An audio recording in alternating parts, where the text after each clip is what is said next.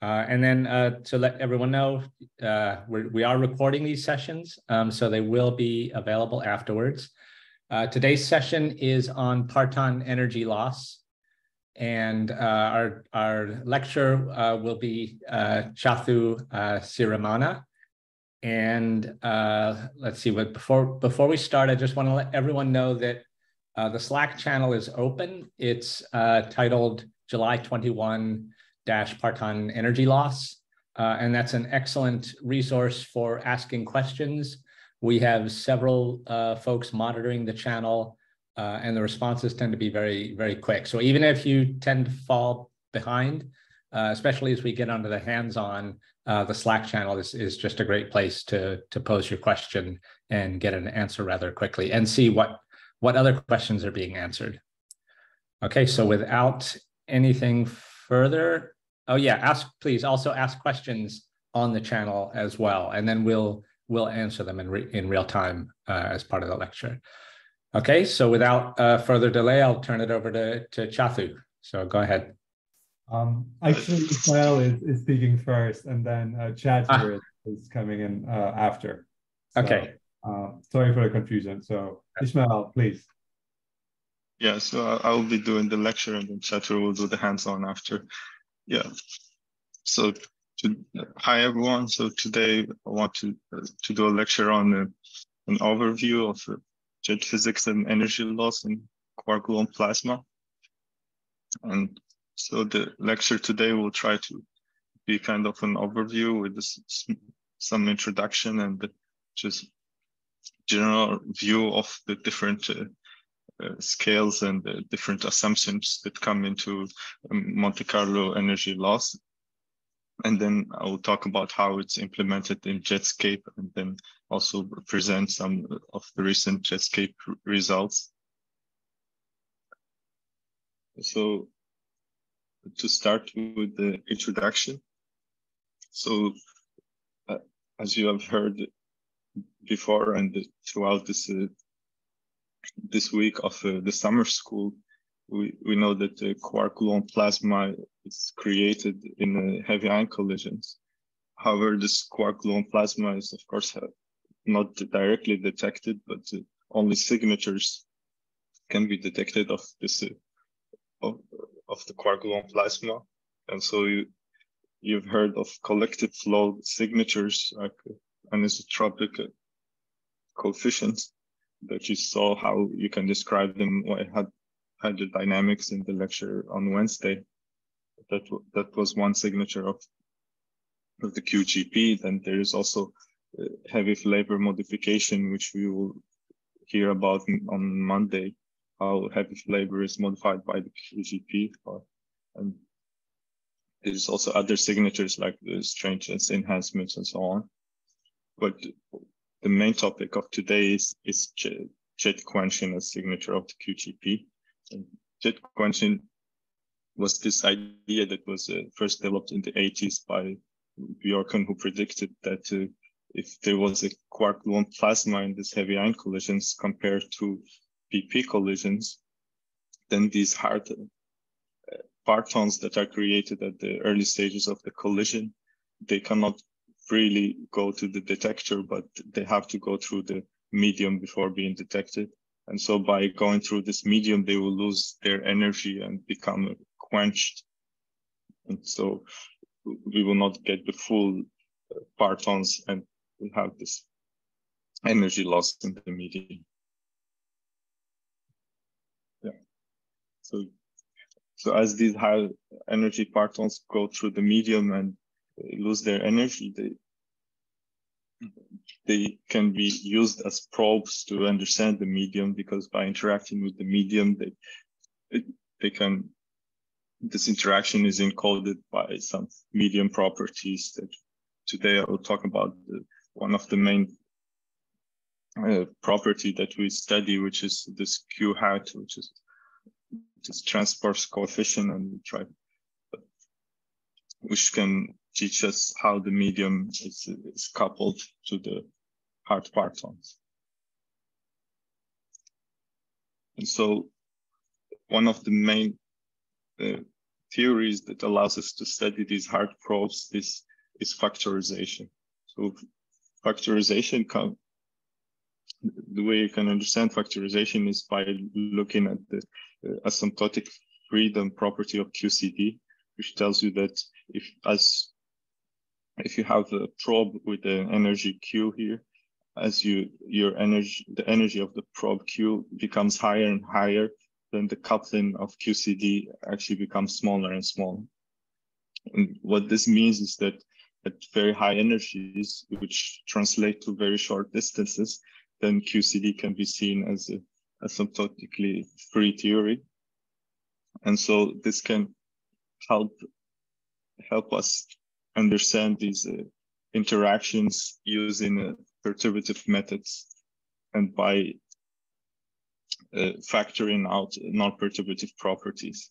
And this is this is what's usually done in PP collisions where you take the hard process of two protons scatterings and you describe it as a, a partonic process of, for example, here gluon scattering. And then these gluons are then taken from a non-perturbative object, which is this parton distribution function, and which called the non-perturbative effects and which can be extracted from from experiments. And then you have the hard process here which is a partonic process that can come from uh, pqcd and then again the hadronization after the the scattering which is non-perturbative can be encoded into fragmentation functions these non-perturbative objects as well. And so this these PDFs, these parton distribution functions give you the probability of finding a parton A, so the small a, in a hadron uh, with capital A, so like a proton with a momentum fraction PA divided by the momentum of the proton. And the same is the similar way you can see the fragmentation function is as the probability of a parton to fragment into a hadron with uh, some fragment, uh, momentum fraction of the original parton. And so these uh, PDFs, they follow an evolution, which you've heard of, uh, about on Monday. They follow this peak lab evolution, which is through some uh, evolution. And it, in the momentum transfer in this hard probe energy. So if you look at the PDFs for, for, for the proton, what you see is that as the probe energy is small, you see that the proton is is made up of these uh,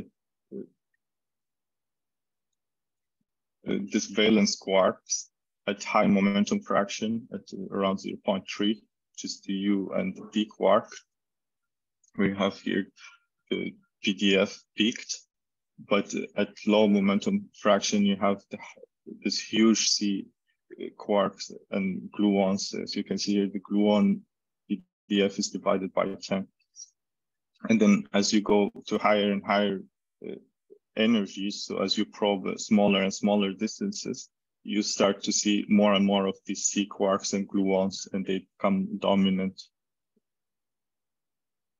And this evolution is described by this DGLAP evolution, of which is this uh, integral the differential equation in, uh, in the this in the scale mu. So so usually the scale mu is sometimes denoted as q squared or mu squared or t.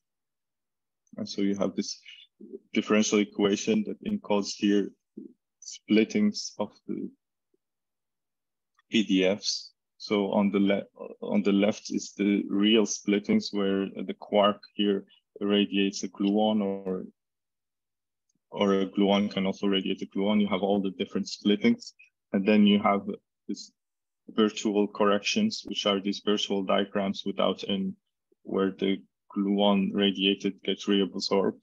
And these uh, uh, actually tame the divergences here at small z. But however, this equation can, of course cannot be solved directly in a Monte Carlo, but there are some techniques to solve this is to use this Sudakov form factor, which if you take this Sudakov, which is this exponential uh, exponential of this uh, integral of the splitting function, you can write the DGLAP equation as uh, this integral equation and you don't have any derivatives anymore. So you kind of solve the DGLAP equation in kind of a green function way. And what you, you see then is that here this Sudakov, what it tells you is the probability of having no branching between uh, uh, some small scale T0 and, and T. So the distribution doesn't change if, if there was no branching. And then you have this ratio here that gives you the probability of branching between T prime and T, which is then folded with this splitting function. And so this part gives you the resummation of the different branchings between T prime and T with this integral. And so using these two probabilities, we can write and very simply write a Monte Carlo that, that just takes the probability of no branching and turns it into a, a, a kind of a Monte Carlo generators where you have here also the splitting function that will give you the probability of the momentum fraction, z of the branching. And so using this evolution, you can then have a forward evolution in time from a high virtual parton that comes from the scattering. So after the scattering, the parton will have a high virtuality and then it starts to lose the virtuality and goes to lower and lower virtualities as the time goes on. So maybe this is a good first time to stop if there are any questions or if I'm going too fast. Okay, any any questions for Ismail? And let me let me just check in with my uh, the uh, summer school chair. Should do we want to also take questions from raised hands or or still uh, con constrain them to Slack? No, people are welcome to raise their hands if uh, if that works better.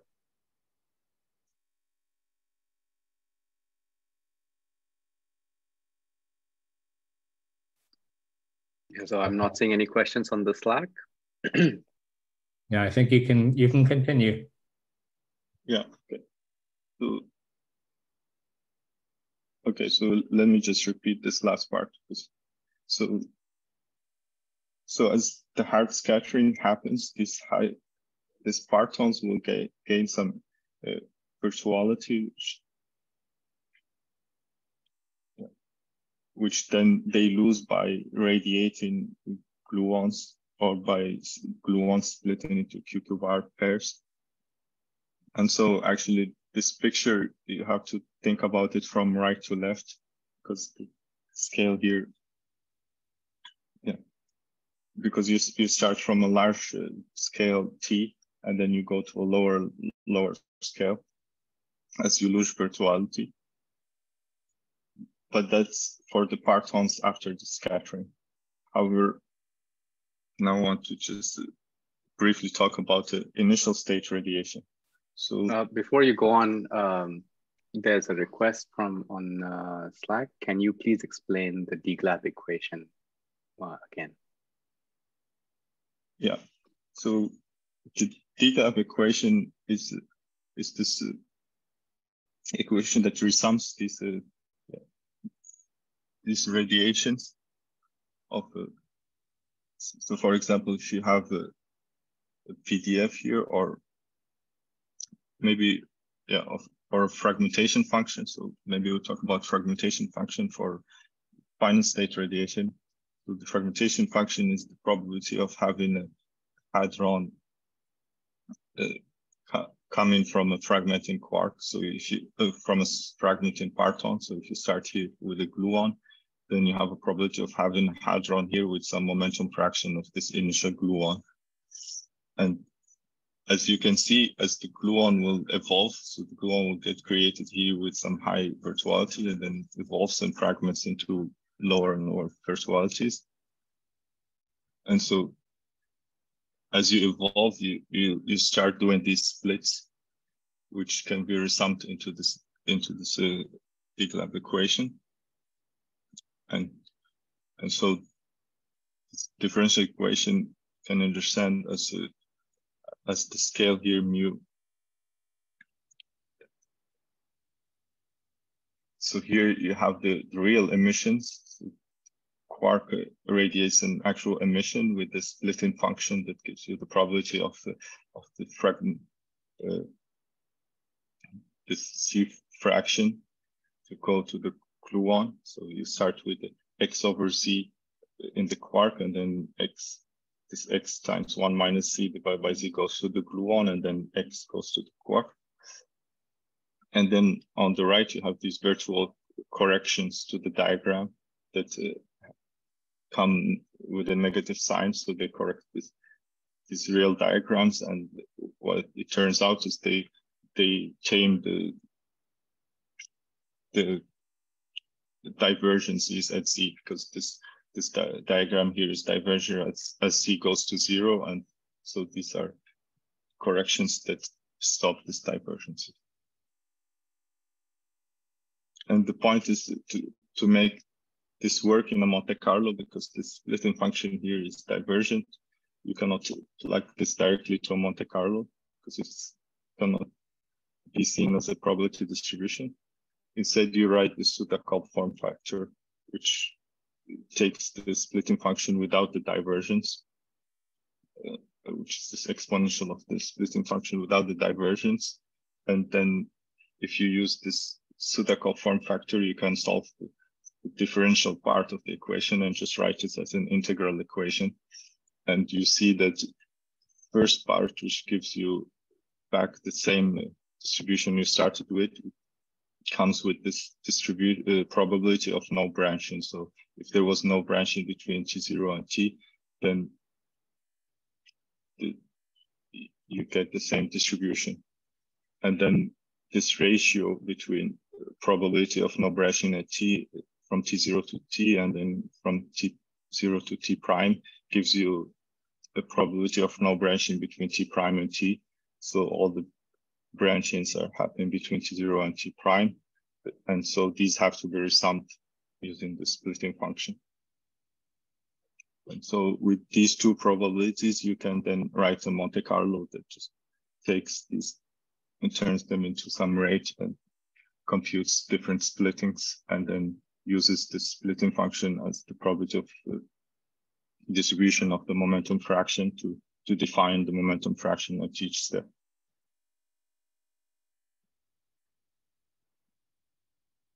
Yeah.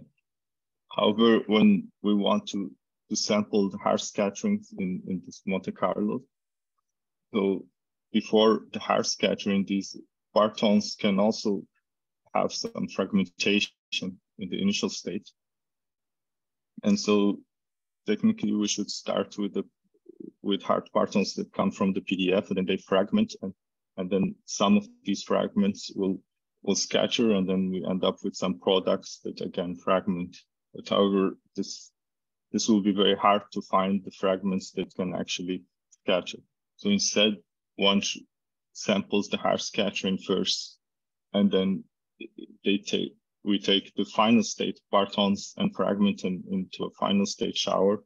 But then the initial state partons, we can again try to do the same shower, but now in a kind of backward in time evolution. And so then comes the, uh, how to how to generate an initial state shower. So in backward in time shower, where like here you have the harsh scattering, and then you go backward in time, uh, finding all the branches that that this quark came from. So um, there's a question in the Slack, Ismail, that's uh, asking you, is T prime greater than T? And I think two slides before where you were showing the Sudakov.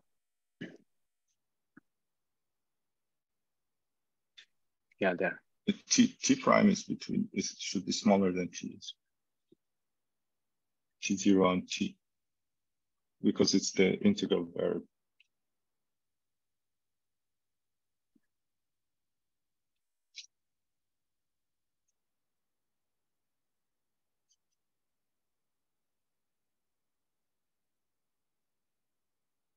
Yeah, but when you do this backward evolution, now the virtuality actually becomes negative. You find that there's a negative vir virtuality that will still go from a large uh, absolute value to a small uh, t0. And however, now that you know that this this parton came from from some specific, uh, for example, proton that has a specific PDF at some t zero scale. So when you go backward, then you cannot just use the Sudakov directly to have the probability of of these branchings. Uh, but instead you, you have to multiply it by the PDF because then you have to constrain how much the momentum fraction of the of the parton because it comes from a proton with a known energy, which is the square root of s divided by two. And so the then the backwards Sudakov becomes modified with these PDFs. And the same happens for the splitting function. It gets multiplied by the PDF because you, you cannot have any Z fraction because now the, the Z fraction, the, you are going from a parton with a momentum X to one with momentum X over Z. So as Z is between zero and one, then as you go back, you actually gain momentum, more and more momentum, but you are constrained by the PDF that tells you how much the parton can have from these distributions. And that's the main difference between this forward evolution for the final state and uh, initial state radiation that goes into this backward evolution. So now once you have all these evolutions, you have the parton that comes from the PDF and fragments in this initial state shower and then goes into the harsh scattering and then it, the final state is fragments into uh, the final state shower that then hadronizes and can be studied. Yeah, before I go to just medium interactions, maybe there are other questions.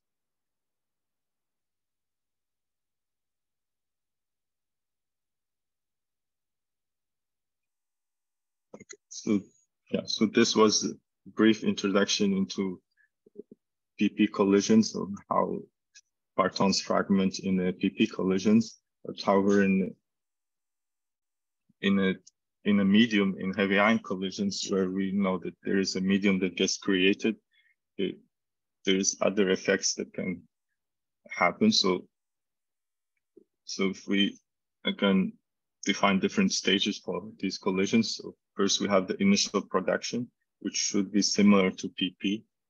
That is because it happens at very high energies, which also means very short times. And so it shouldn't be modified by by the QGP at these short times. And then there is the vacuum shower that due to formation time effects that I'll explain later, it it mainly happens before the medium fragmentation. So the medium fragmentation, which comes slower than the vacuum shower, then where the mediums start to resolve these uh, fragments from the from the parton, and then they start to interact with the medium, leading to uh, elastic energy loss and the the dominant effect, which is this in medium splittings. And then at the end, once you go out of the medium, you have hadronization that should mostly also be similar to PP in a vacuum. And the interesting thing about hard probes is that because of the fact that they have such high energies compared to the temperature of the medium, this leads to a large separation of scales between the hard probes and the medium. And then you can again employ PQCD studies and to learn about uh, interactions between the hard probe and the medium. And so the at leading order, the main processes that happen between the the main processes of energy loss are elastic scatterings, which is just two to two scatterings that lead to kind of diffusion and drag. And there's also some processes that are called conversion, where because of these diagrams, like for example, a high energetic gluon can uh, scatter with a quark and then convert into a high energetic quark, while the gluon becomes a mm, at the scale of the medium, and vice versa. The quark can also convert into a gluon, and these will be important for chemical equilibration. Actually, we've had some studies on how these can be also used to to study the QGP that I might talk about if I have some time at the end. And then because of the multiple soft scattering with the medium, it turns out that this can lead the, the high energy parton to go slightly off shell. And so it has to radiate to come back on shell. And, and this leads to this, uh, this uh, inelastic scatterings where the number of, uh, of parton is not conserved. And uh, actually one has to resum these because they they come with the same power uh, order as the elastic scatter. So for the elastic scatterings, usually these are described like with the usual collision integral of uh, two to two scattering distributions and the, the matrix element, which comes from tree level diagrams and where because now we're in a medium, these divergences that usually are in the vacuum due to small momentum exchange can be uh, cut off by the medium scales and by screening. And yeah, so this elastic scatterings, if you do an expansion in this momentum exchange, because you have this, uh, usually the propagator as uh, one over q squared. And so for small momentum exchange, you have a, large enhancement. And so if you do an expansion where you take the, the very first order Taylor series of Q, you find that this Boltzmann equation, which is a integral differential equation, turns into a differential equation known as the Fokker-Planck equation. And the interactions with the medium then become encoded in what these uh, transport coefficients. So here in green, we have the longitudinal drag that stops the hard parton in the medium. And then we have the longitudinal diffusion that kind of gives small kicks to, to the parton in the longitudinal direction. And one of the most famous one is this transverse diffusion Q hat, which gives small, which gives uh, small kicks in the transverse plane. And so it kind of uh, gives a small uh, diffusion in the transverse momentum of the of the parton uh, without changing the direction of the parton drastically.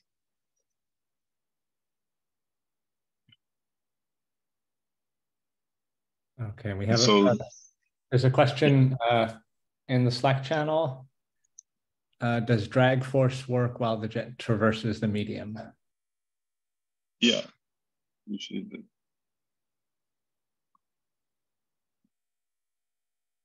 the, the, drag kind of tries to stop the, the jet.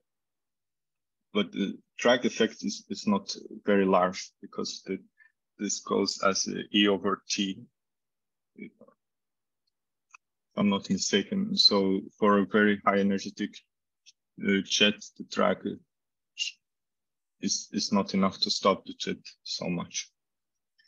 Because all these elastics processes uh, for a very high energetic jet are subdominant to, to the inelastic processes that I will talk about later, right after. And those are much more dominant to make the, the jet lose energy for a very high energetic jet. But then once the jet becomes closer and closer to the medium, then these uh, elastic processes become more and more important.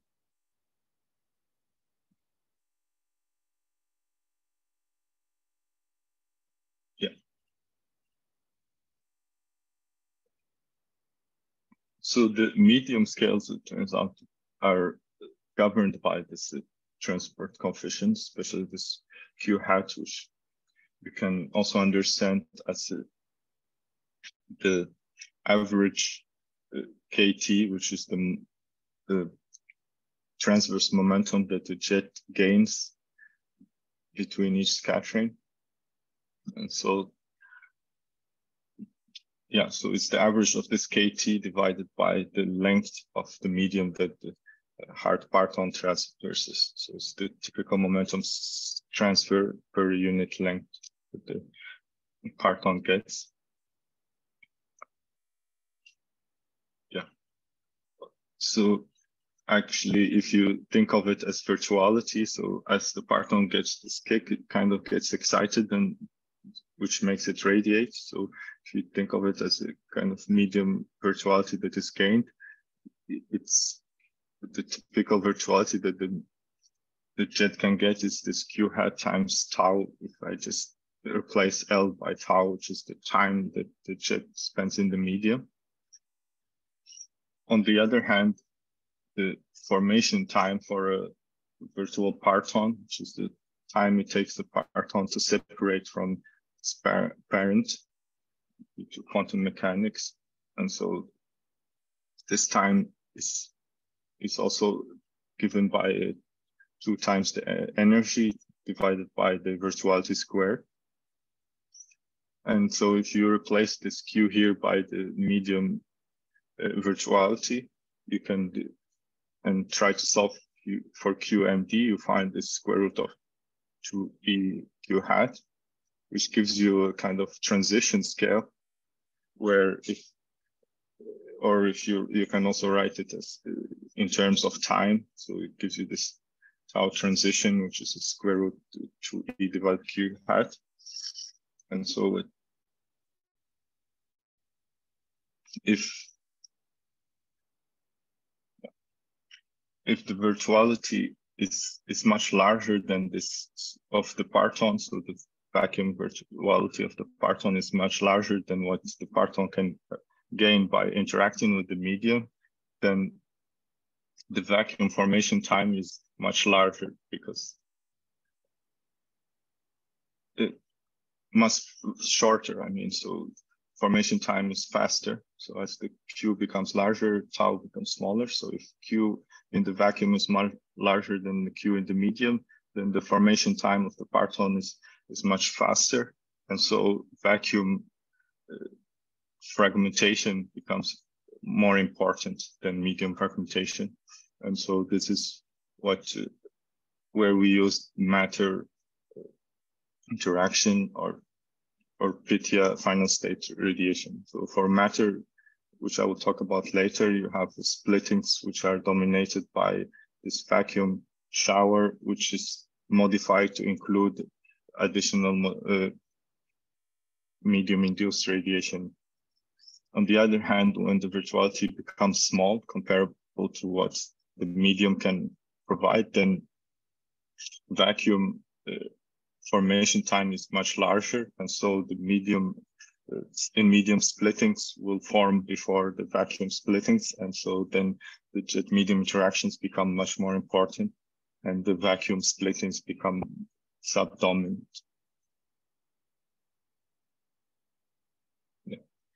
So now the, the question is what happens in between these scales when the, there is a question there's a question in the uh, in the Slack and he asked uh, let me see uh, how does uh, Q hat differ from Q hat sub tall? I don't know what, what it means. Uh, subtau. This is not subtile. This is Q hat time star. Yeah, yeah. This is yeah. Okay, yeah. Yeah, it's just tau is just the time. Uh, it's just which can Another question. Another question. Ask what is the Q medium, sub medium? What is what is the Q sub medium? Yeah, so when the parton interacts with the medium in this elastic scatterings, it it can get excited and gain some energy that will then have to be radiated. And this energy is defined with this uh, Q medium, which is spirituality that it gains, and it has to lose the spirituality by radiating.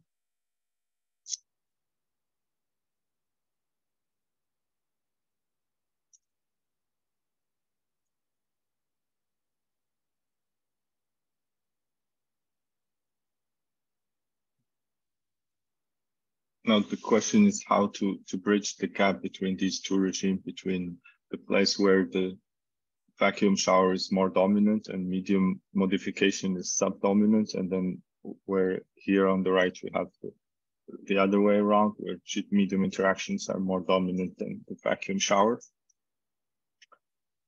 And so the first thing to know is that this KT, this typical momentum that parton can gain from medium interactions given by Q hat L is not really the full picture. It's just in this small angle approximation, but the medium may fluctuate to much larger momentum because the medium is, is in equilibrium, but it's still fluctuating and it might give much larger KT. And so these fluctuations may resolve these smaller virtual dipoles and change the vacuum splitting. And this one way to implement this is to make this Q hat dependent on the virtuality of the parton. And th- this is what was done in this paper and what was implemented in Jetscape, where they implemented this simple model of the of the virtuality dependence. So if you look here at the, function, Q hat times this function of virtuality, and if you look from right to left for high virtuality, you have these lines where Q hat becomes smaller.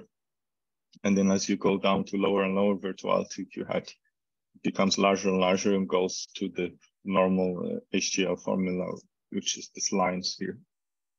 And so you can see this as you start from this vacuum phase and the medium interactions are then slowly turned on and change the vacuum splittings slowly until you get to, to this low virtuality phase where the media you only have medium interactions and the vacuum splittings are sub, subdominant. So now just give a short uh, explanation of how these uh, medium splittings happen. So for partons with very low virtuality, I mean, mean, we consider them to be on shell compared in the medium. These multiple scatterings with the medium can drive them slightly off shell, which will lead to this radiation. And this radiation, it turns out, has to resum uh, infinitely many diagrams. And that's because if you look at this simple diagram where you have a kick of the parton and then it radiates, the, this vertex will come with the factor of the coupling. Of course, there's another factor here. And but the propagate the gluon propagator in the medium actually goes as uh, one over md squared, which is this Debye mass. And so it goes as one over gt squared. And so for each two vertex, you will have a one over g. And for each vertex, you will have one over g that comes with this gluon propagator. And so it will cancel this g. And as you get more and more scatterings, you find that they all come with the same coupling. And so they have to be resummed into, into an rate.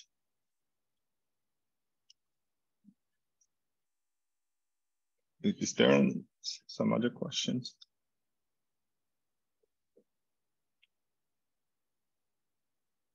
I think I think we're all caught up uh, with the questions in Slack. So no, no, it's not. Slack oh. is there. Yeah. Okay. Yeah, the no question on Slack. Yeah, go ahead. Yeah. Okay, so now I I try to explain the the scales that comes into this resummation of the multiple scatterings that induce this radiation. So as you can see, so after these scatterings give the parton some virtuality that before it then radiates, this radiation is not instantly formed, but it also needs some formation time where it gets separated enough from the from the parent parton that the medium can resolve the two scatterings.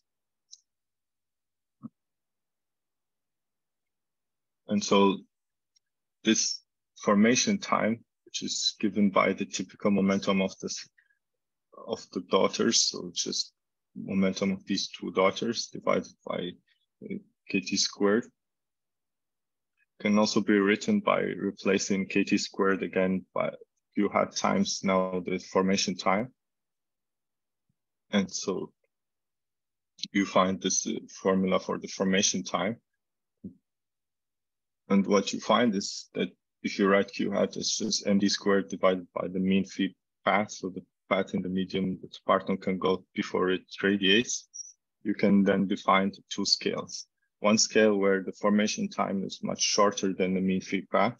And what this means is that before the formation, there's not enough time for the medium to scatter with the parton. And so the medium cannot re- cannot resolve the parton, and so it doesn't scatter or only scatters once or before it's been uh, before radiation. On the other hand, when the formation time is much larger, so that's for high energetic uh, splittings, mostly we'd see closer to 0.5. Then the, so then the formation time is much larger than mean free path and become much larger than mean free path. And so the medium can still scatter with the parton while it's being formed. And so multiple scatterings act then coherently on this uh, dipole pair. And these coherent effects uh, lead to an actual suppression of this high energy radiation, which is known as the Landau Pomeranchuk Migdal effect, which was first uh, described in QED, and you can have a similar effect in QC. There is a uh, there is question on the. I think there's uh, they said uh, first of all there is a question that what does the collinear region refer to here? I think he's probably talking about probably the last slides. Yeah, so the, this radiation uh, turns out is very enhanced for uh, a parton that goes collinearly to, to the quark, for example, here. So usually it's actually computed as though the parton is is actually collinear to the to the high part, high energetic parton because the vacuum radiation can have some transverse momentum when it's radiation radiated, but in the medium, the radiation is enhanced for a collinear radiation. There is another question: so uh, Why the Lagrange onshore offshore for partons with virtuality much less than the threshold, like square root of Q hat Uh, because because this virtuality is so this is the virtuality that you can gain in the medium. So when the virtuality of the parton, because it comes from a vacuum parton that had a high virtuality and it keeps losing virtuality, when it's its virtuality smaller than what you can gain from the medium, then you can think of this dipole as being, you can think of the parton as, uh, as on shell uh, in the medium, because the medium can resolve it as an on shell parton.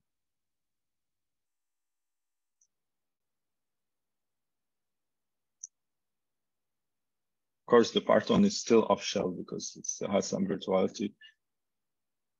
And because especially with QCD partons, you, you don't think of a free quark, but because of their high energy and this asymptotic freedom, then in the medium, you can think of these high energetic partons as being kind of free in these interactions.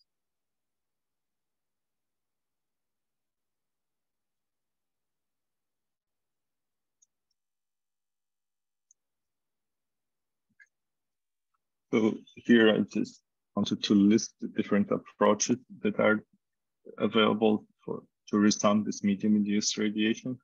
So there's this PDM. Yeah, I'm not going to go into the details of how each of one works, but just list the different properties. So there's this BT EMPS Z uh, approach, which is usually which considers the medium to be infinite medium, so the medium length to be infinity. And so what it means is that it considers that it's mainly working in this deep LPM regime where there's multiple soft scatterings with the parton. And it considers that the medium interactions are mainly mediated by Q hats and it turns out that the solution of this radiation rate, which is this effective rate, so you resum these different scatterings into an effective one to two rate. And so this the solution this becomes a harmonic oscillator problem in a, a 2D quantum mechanical uh, evolution, and then can be which can be solved analytically. On the other hand, if you consider that the medium is very thin, so it's very small, finite medium, then now you're working in this uh, regime where the medium cannot uh, resolve the quanta before it's formed. So it can only scatter very few times before the formation. You can then expand in the number of scatterings. And this is known as the opacity expansion which for the first order can be just given as a numerical integral. There's also this higher twist approach that is used in matter and LBT, which is similar to opacity expansion, where you look at a few scatterings, but uh, it's used in deep inelastic scattering techniques to, to find the rate. And this leads to some numerical integrals to give you the, this effective one to two rate. And then there's the AMY approach, which also works in infinite medium, and it's very similar to the, the BDMPS. But here the medium interactions are mediated by an actual scattering kernel, but not just Q hat. And so you cannot find the simple harmonic oscillator problem. Instead, you have to solve an integral differential equation. And also there are there are methods that use the same medium interactions as the AMY approach, but then they don't take this limit of infinite medium, which makes the equations more more complicated. But they can they can also be solved into using numerical techniques, and you have this integral differential equation that can be solved and actually can reproduce AMY in the once you go to larger and larger medium. And there are other Uh, methods like improvements on the harmonic oscillator and opacity expansion that are available. People can also use for to obtain simpler solutions without having to solve the most more complicated rates. Now, okay, Is, uh, Ismail, we we have some more questions piling up. We have three yeah. more questions in Slack. Do you want to answer them now, or do you want to? Yeah, yeah. Okay, so the first is why is the collinear emission enhanced in the medium? Oh, I, I see uh, Abhijit replied to that.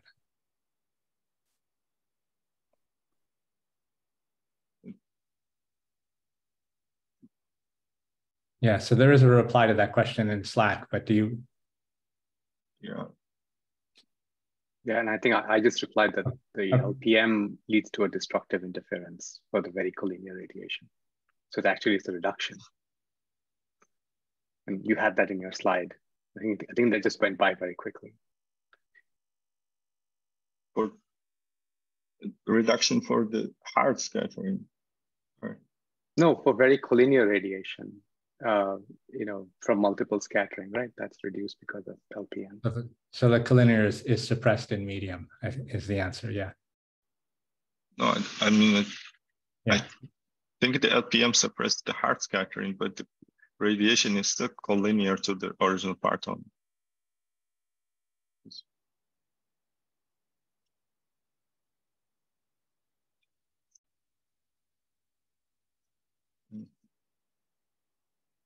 Okay, let, let us know on the the collinear yeah, the collinear enhancement just comes from the, the dynamics of the splitting function. I cannot remember it now from on top of my head. but think Okay, and then uh, another question, um, is the KT transverse momentum of the scattered parton from the leading parton? I'm not, I'm not sure I completely understand what the question, does that? the KT is the, is the moment. Yeah, it's Oh, those, what's the KT relative to? Uh, yeah, that's what they're asking. yes Relative. relative to it's relative to the leading parton because this gives you the separation between the, the two partons. Okay, so yeah, another question. Yeah, so tra- transverse momentum relative to the leading parton. And and then uh, a question uh, asking for a, a concise definition of the word of virtuality. What do we mean by virtuality? Yeah, so virtuality is usually first you hear about it in these Feynman diagrams where like if you have a photon sca- a scattering that is mediated by a photon or for example annihilation, these photons sometimes can gain some can have some mass just from the energy momentum conservation. And of course photons are massless, but these are what we call virtual photons because they're not you cannot observe them directly but they're just comes from the feynman diagram that they mediate this this scattering. And so uh, these photons of course directly will uh, uh, will uh, i mean will split into for example e plus e minus. And so this virtuality is a kind of mass that uh, parton can can have. So quarks also usually we treat them as massless, and because of this very hard scattering that happened in the PP collision, then they you have these quarks that come out excited with some additional mass, and this mass then they have to lose before we actually detect them, and they lose it in this fragmentation. They, they fragment into different had quarks and gluons, which then hadronize, and we only detect the hadrons. And so this virtuality is what you gain in kicks, basically. So when you have some kicks from the medium, you can also gain some kind of virtuality, which is this mass, the kind of virtual mass. Hope makes sense. Okay, so uh, let's keep going. And then if any of those questions need further clarification, we can uh, come back to them at the end. Yeah. So here I just wanted to demonstrate these different uh, effects by showing just this radiation rate of a gluon radiating another gluon. So the gluon starts with a, this energy E here on the left, which is square root of a thousand times temperature, and then here E is a thousand times temperature. I mean, mainly you have to understand that the left one is with starting gluon has less energy than the right starting gluon. And what you can see is that the, this in dotted red is the full splitting rate in infinite medium, which is this AMY rate. And actually, if you do a leading log uh, fitting, which is this harmonic oscillator in the deep LPM regime, you see that can actually describe the rate very well, where you have here z closer to 0.5. So when you have this very hard splittings, you can describe them by this harmonic oscillator, which resums infinitely many scatterings using q hat as scattering interaction. And then on for very soft splittings, when the formation time is very small, so the parton doesn't scatter a lot, a first order opacity expansion, which is known as the Bethe-Heitler regime, can, can describe it. And you see as the parton has more energy, then these regimes change as they depend on the parton's energy relative to the to the medium and to, to the dot.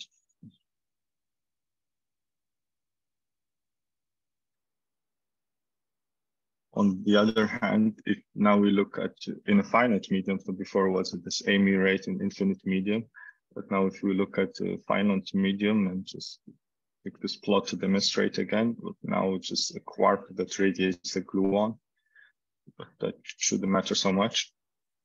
But now we have uh, as a function of the evolution time, I just want you to look at the purple and this orange dotted lines here. And what you can see is that for small times when parton just spent very short time in the medium, then the opacity expansion, which is this orange dotted lines, it's just the first order opacity expansion, which means just a single scattering can work very well, even for C equals 0.5. So even for a hard scattering, just because the parton didn't spend enough time to to get a lot, uh, a lot of kicks, but it only got a, some single hard scattering that lead it to radiate. But then as the parton spends more and more time to get more and more kicks, the rate becomes larger and larger, but then it's not described anymore with this opacity expansion. And then as you go to very large time, then you recover this AMY uh, infinite medium rate. Now, how do we describe this in Jetscape? So as you have heard throughout this week, Jetscape is this multi-stage modular frame framework to study jets and the bulk dynamics of heavy ion collisions. And of course, you heard of the hydrodynamics that describes the bulk medium. And here today, we, we focus on the the hard uh, scatterings. So these are defined, uh, separated into different stages, which is very natural because you see that there is different scales in the system and the parton goes through different phases that have kind of different physics. And so you have initially the hard particle production that usually is described with PYTHIA, and then you have this multi-stage shower evolution. You start with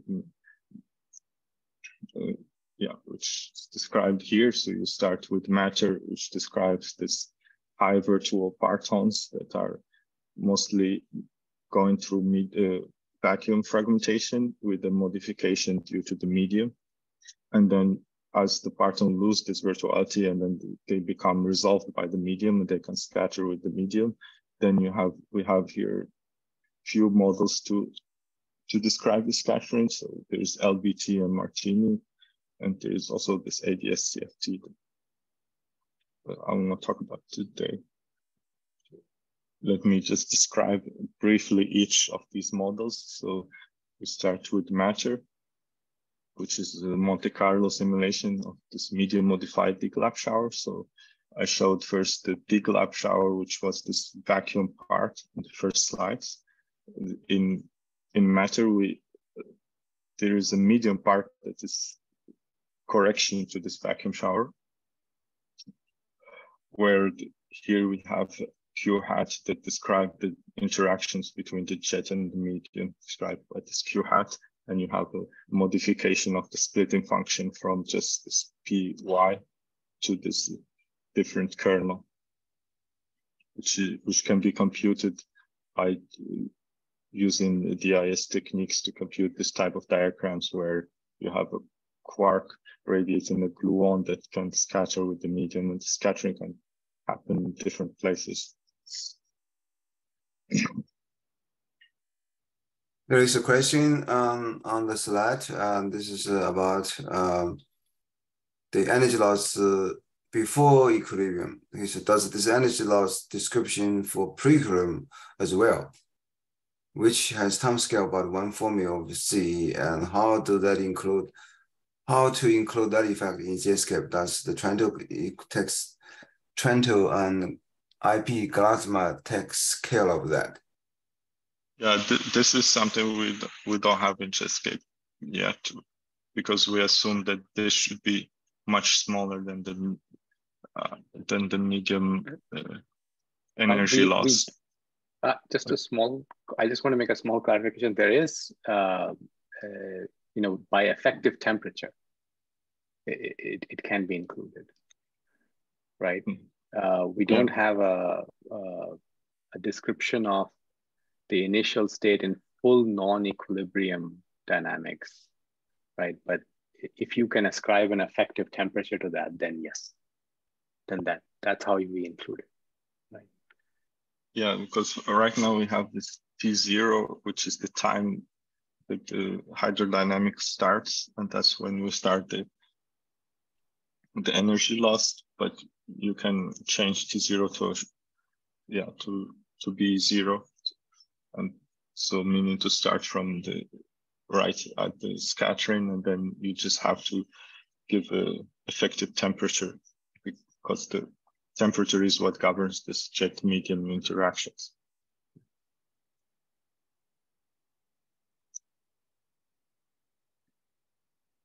Yeah, so I think there was a discussion on this earlier in the week um, that you could actually in Jetscape, you can take the T0, the, the tau zero, whatever, the starting of, of jet quenching, you can take it to be earlier than even when the medium uh, starts hydrodynamics.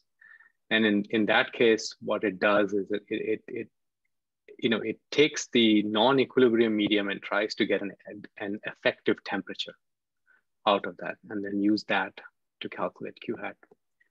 That's not a perfect world, but uh, yeah, I mean, until we, there is a, an actual simulation that can give you Q hat for a full non-equilibrium medium, uh, this is the, the best that we can do. Yeah.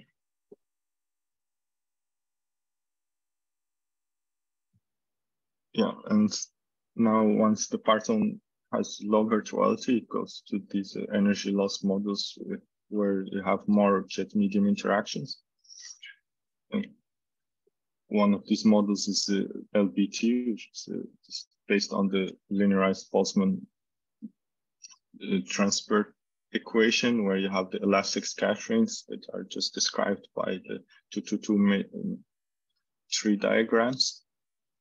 And then the inelastic scatterings are using this higher twist single uh, gluon emission kernel which is resummed using uh, this multiple scatterings. And we consider the, the multiple scatterings, so, so multiple gluon emissions using a Poisson distribution.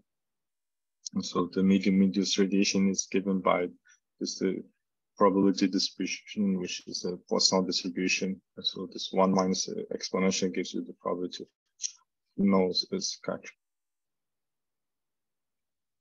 On the other hand, there's also Martini, which uh, for the elastic scattering is uh, very similar to LBT, it uses similar rates.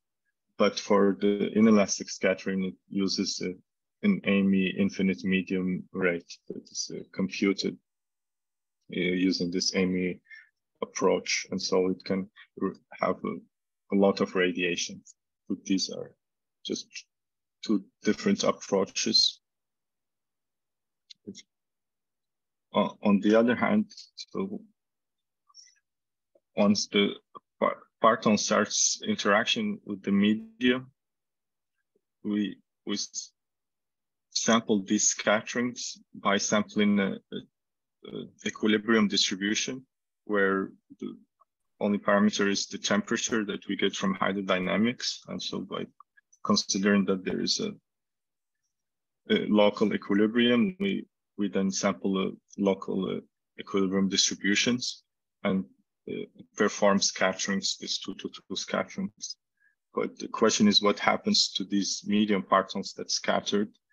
And so this is what is known as medium uh, response, because it's the hard partons are scattering off the medium. The medium also itself will become modified due to the partons. And one way you can implement this medium response is using this uh, recoil hole formalism, where you consider that this sampled parton from the medium to be holes that you then just we just uh, uh, evolve them in a free streaming and consider them to be negative partons. And the recoil partons, which is the other leg of leg of the two to two scattering, is considered then the recoil partons. And by at the end of the evolution, you take the recoil parton and subtract the holes, and you get a kind of medium response. Of course, there, there's other better ways to do medium response, which is to take these uh, recoil and holes and uh, add them to the hydrodynamics using a source term. But then you start to have to do a two-stage hydrodynamic evolution where you have to do uh, a hydrodynamic evolution for every jet. And this is very costly numerically, but uh, this is possible in Jetscape.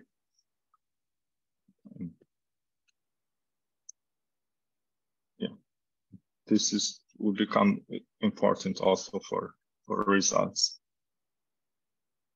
Uh, is there any question here? No, no, not here. Yeah. Okay. Yeah. So now I move on to show some Jetscape results. So first of all, I showed the PP results so that we reproduce the baseline data because when you talk about energy loss, you need to compare this uh, AA collisions to PP to see how these hard partons get modified by the medium. So here I show different ratios of Jetscape results to PYTHIA compared with the the different data. So here Atlas and Alice and CMS star. And we see for different jet spectra and weird inclusive charged particles, you see very good agreement with the data and the Jetscape can reproduce the baseline PP results. Now here I talk about the RAA, which is the ratio between the PP spectrum to the lead-lead spectrum.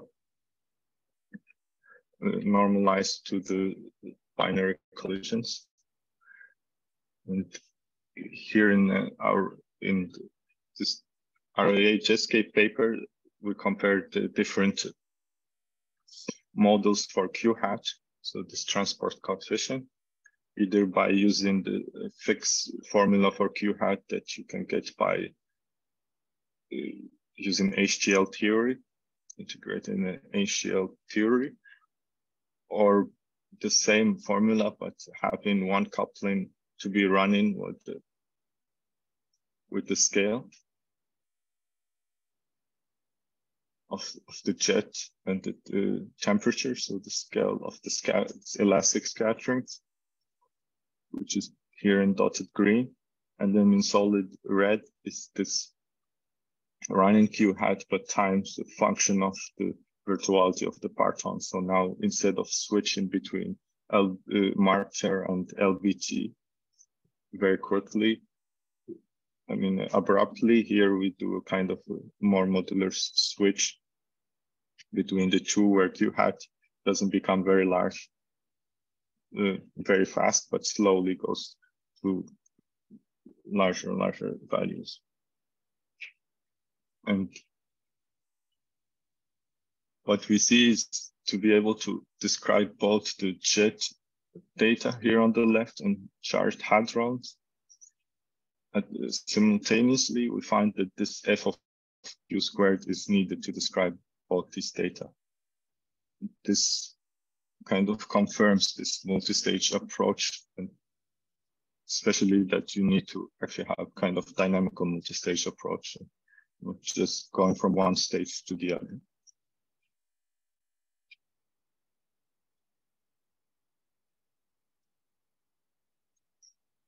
Now, uh, to show the effect of medium response, I showed here this this plot of the jet RAA, where the red line here, the, the blue line is without this hole subtraction, and the red line with the hole subtraction. And you see that without these holes, you actually overestimate the RAA, and you need this hole subtraction to, to bring RAA down for these low NPT jets.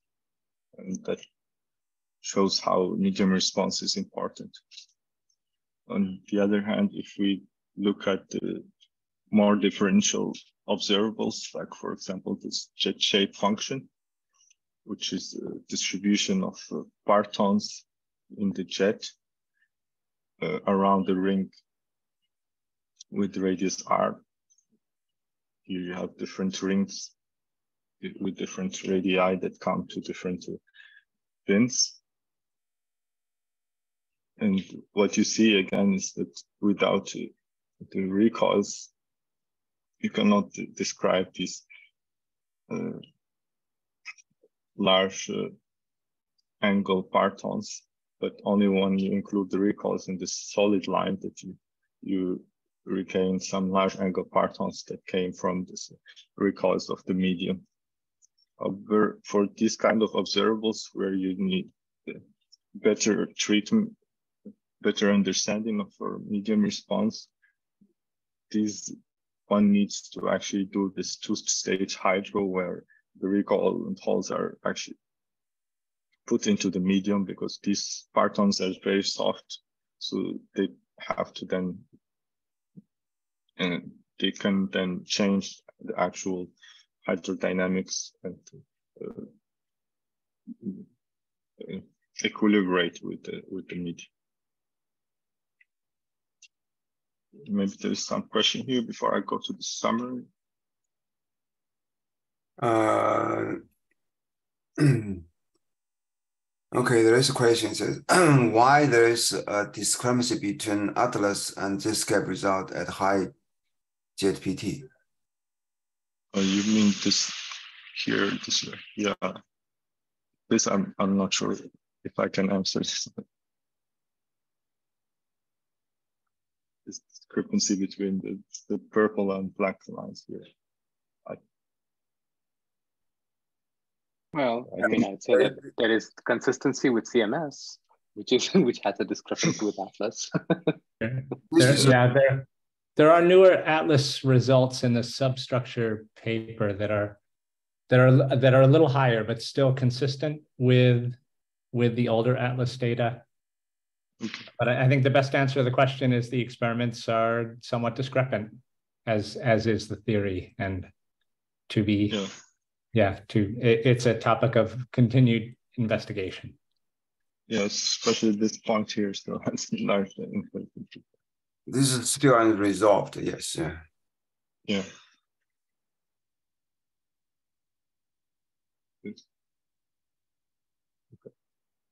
Yeah. So to summarize, so factorization allows us to have a natural separation of scales between the different scales of the fragment uh, parton fragmentation. And this also leads naturally to have a multi-stage approach, which employs the right models at the right scales and kind of tries to marry the different models. And which also led to new approaches that can bridge the gap between this vacuum and medium shower. And we've seen that these are actually are very important for to simultaneously describe the jet and hadron observables, different experiments. And yeah, and uh, next today we'll hear the hands-on tutorial to try to reproduce these results with Chatur. And on Monday, I also advise you to go listen to heavy flavor energy loss, which will be similar to today, but show you how heavy flavor also has different mechanisms when it interacts with the medium than the light flavor you talked about.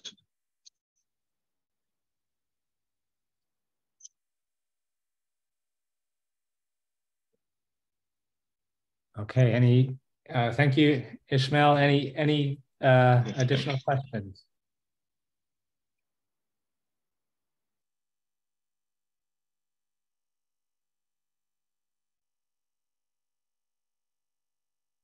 Okay, if if not, and we had we had quite a few questions during the session. So, and if if you have additional questions, feel free to type them into Slack uh, over the break. But I think now we'll we'll break for approximately 15 minutes and then return on the uh, return for the hands-on session. So I guess we resume uh, well, my, my time zone, that would be 7.30, but 10, 10.30 Eastern. And we'll we'll see you we'll see you all back then. Um, JF, shall shall we pause the recording or, or stop it? I think we just leave it on. It's only for 15 minutes that break, right? we I, we we'll pause it then. Yeah, yeah. Easy to do. Okay. You should repause the record. Okay, so we're on we're on the half hour.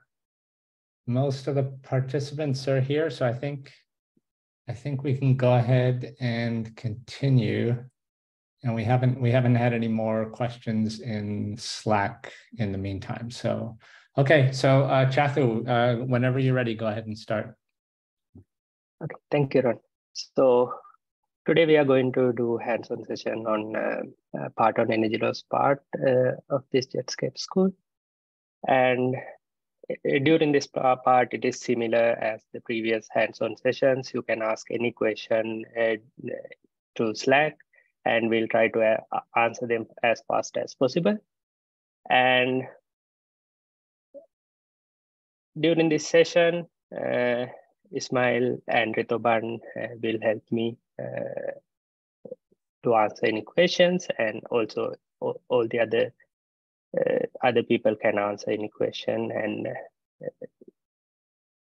it will be fast as usual.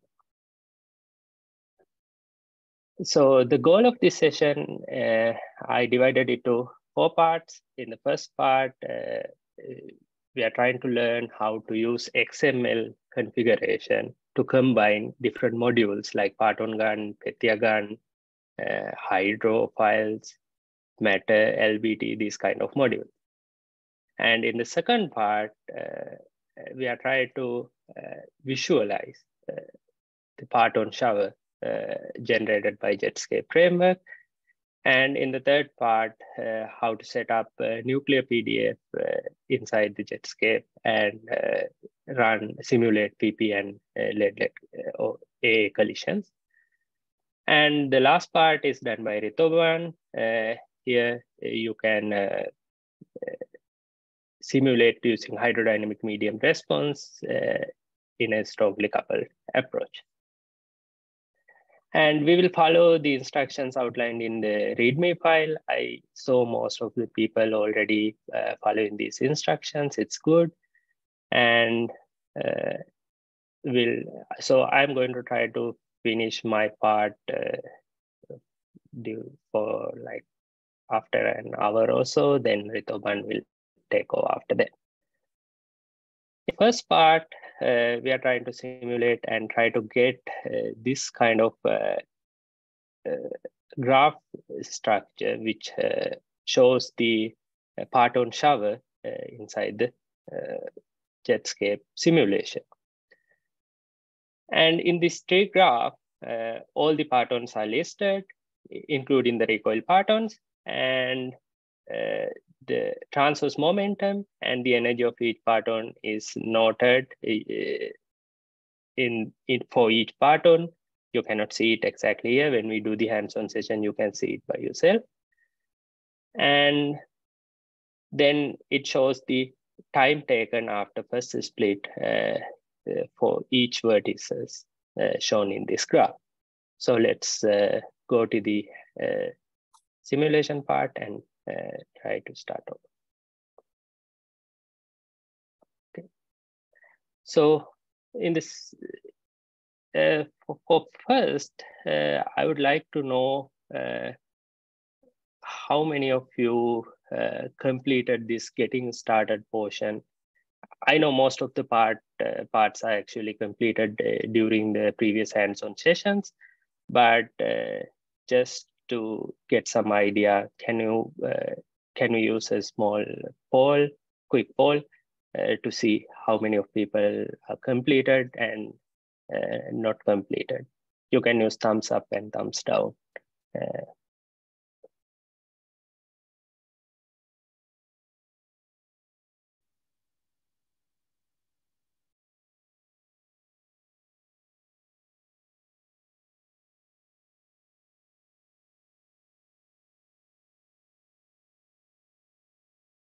Okay, I can see one thumbs down.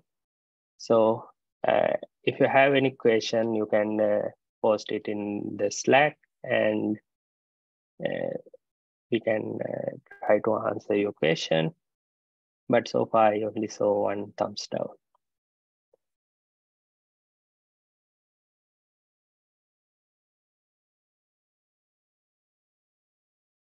Okay, since most of the people are done with this uh, getting started part, uh, I am not going to uh, go through this.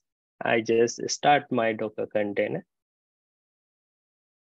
by using this command.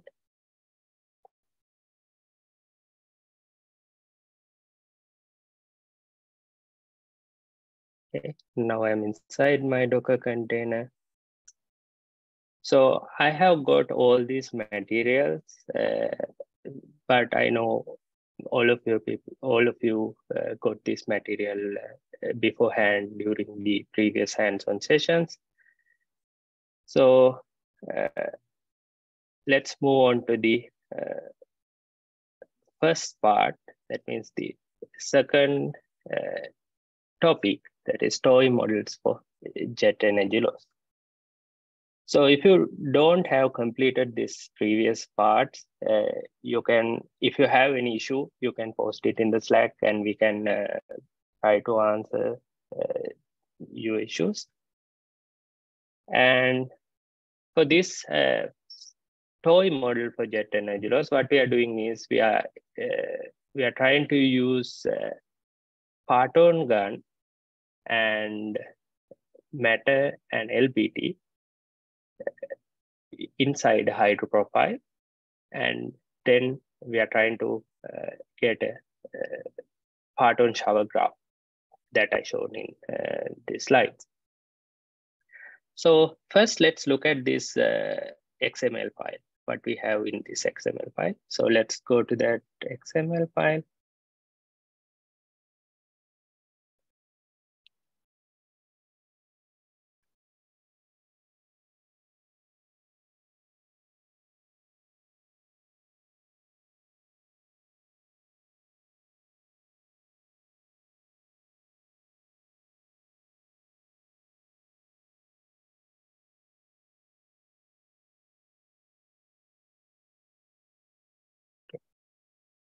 So in that XML file, we are only running for one events because we are using that one event to get generate the shower, shower graph. And we said to use Hydro uh, for one event as well. Uh, when we are using this reuse Hydro, we need uh, set it uh, according to how many how many hydro events we have. So in this case, we have only one hydro event and we need to set uh, this reuse hydro greater than or equal to the number of events. But if you have more hydro events, you can change the reuse hydro accordingly so that uh, it uh, take take over after uh, some events. Like uh, when first hydro uh, event finished, it is from like if you have 10 hydro events and 100 events that we need to run, then we can set reuse hydro to 10 or 10 so that after 10 events, it take over to the next hydro event. And after 20 events, then it goes to the next and so on. And uh, similarly, uh, as I explained in the uh, framework session, we have uh, writer part uh, given like this. And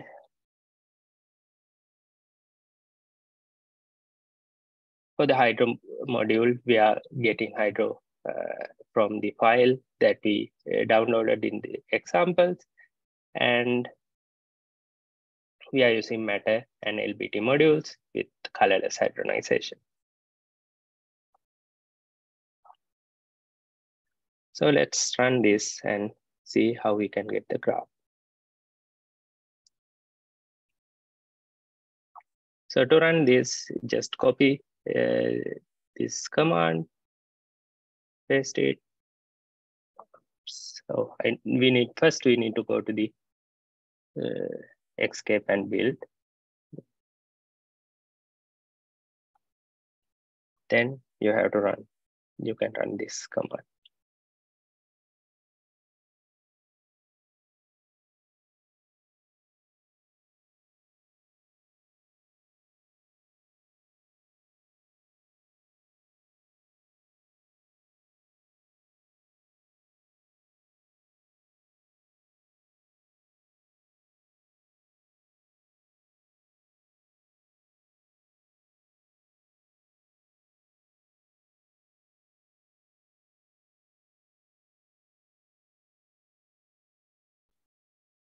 So we have one question. Uh, why have you set the seed value here to two?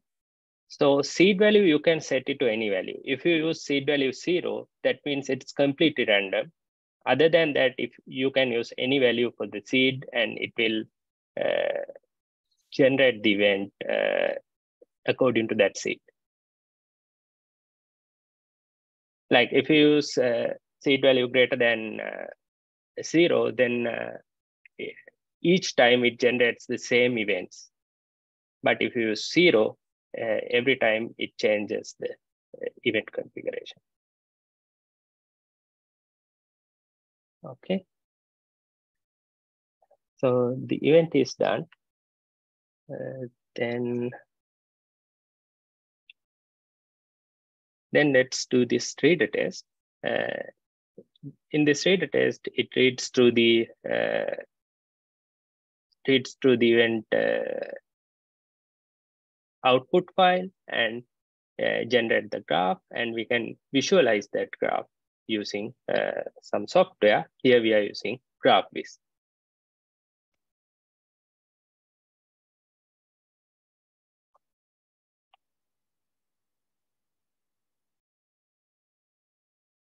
There is uh, there is uh, some comment that uh, on Slack that said that's getting some kind of error.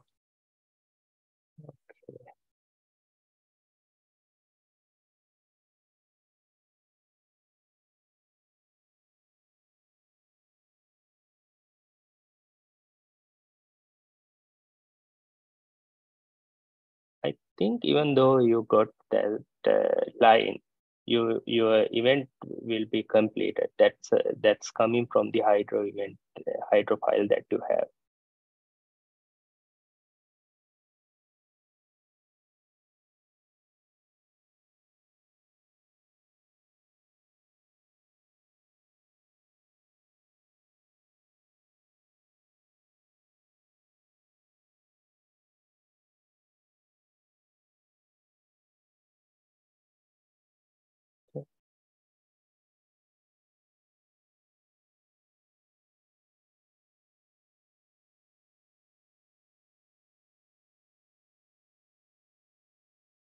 So now we finish the reader test. Yeah, so the the error that uh, shown in this Slack, actually it's uh, coming from the HDF5 because of the uh, hydro profile that we are using that, that you can ignore, I guess.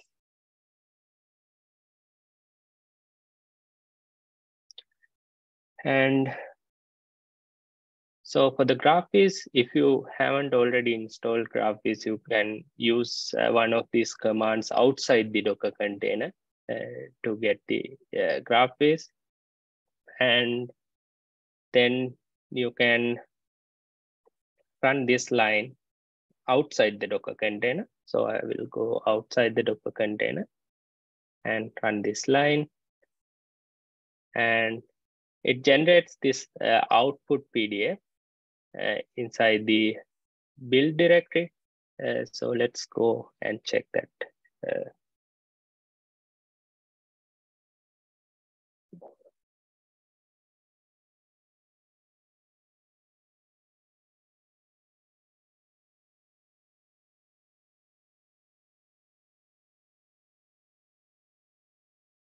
So this output PDF, we can open this output PDF and you can see uh, starting from the initial Parton that is coming from the uh, uh, pgun, we have uh,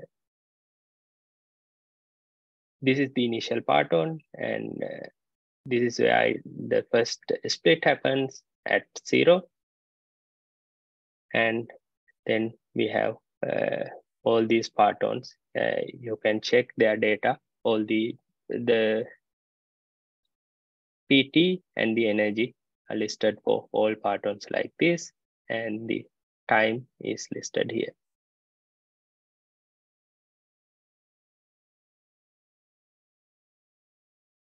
Okay, so let's see how many of you were able to uh, complete this part if you have completed, yeah, you can use the thumbs up. And if you haven't, use the thumbs down.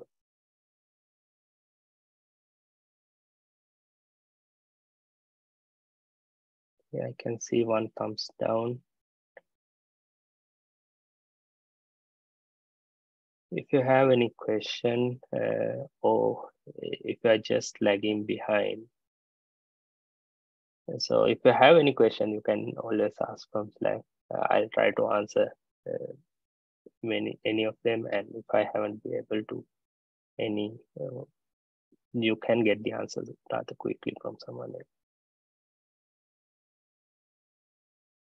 Okay. So this is a kind of a straightforward uh, uh, simulation and it won't take much time because we are only using one event.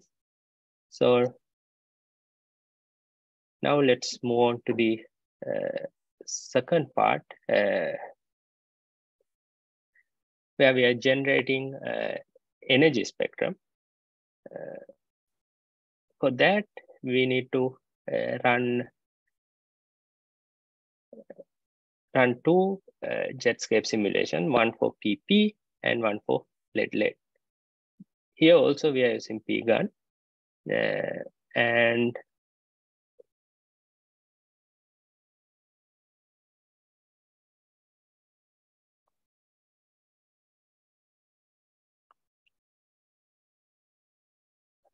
let's see the uh, hydro XML file that we are using. So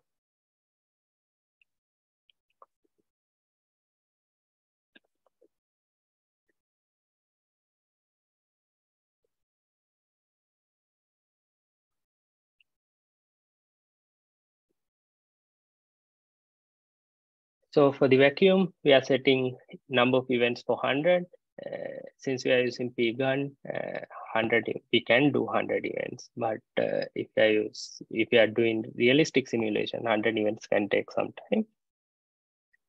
Uh, and similarly as uh, as we did in the framework session we set everything like PP19 tune, but uh, we are not using any uh, hadronization. We are just using the uh, partonic uh, partonic uh, final state partonic results uh, for this analysis. Okay. And we can do this analysis by using these XML files. You can just copy these lines and just paste it here.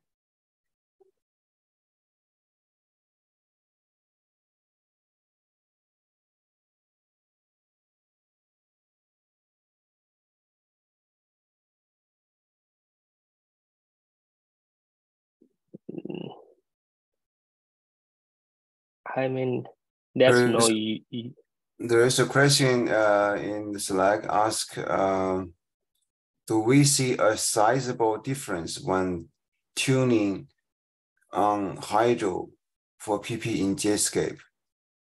I don't understand. Is a is a typo is turning on. I can, I think she- what do you mean turning on? Oh yeah. So the there's no use turning on hydro for PP, I would say, because uh, in PP simulations we are using um, vacuum simulation, so there's no medium. Uh, so turning on hydro doesn't mean anything in that case. So even though you turn on hydro, it will not take into account when we set uh, vacuum simulation on in uh, Matterpotion. I think, but I ne I never tried like that.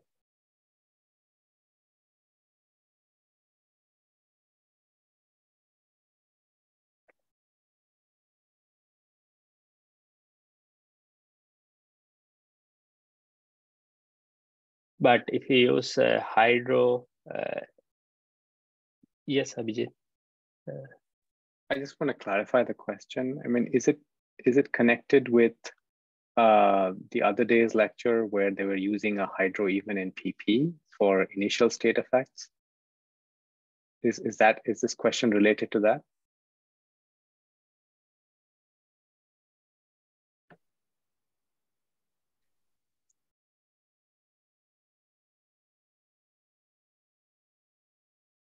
No. Okay. I, I I don't know if Uh, because if that's the case, then I just want to say that even if you did turn it on, the hydro and PP is so tiny that you will not have any energy loss effects.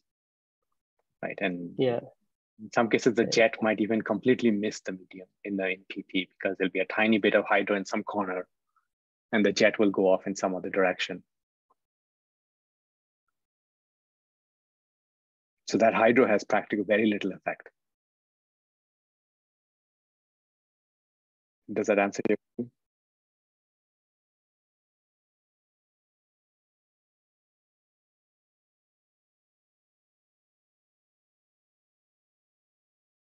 Yeah, I think it is. Uh, uh, that's what uh, um, the question meant. I think. Thanks, Abhijit. So the PP event completed, and we can uh, PP and let yeah, both PP and related events completed. Uh, now we can do the analysis uh, with Jupyter Notebook. So you can use Jupyter Notebook inside or outside the Docker container. If you use, uh, uh if we go up,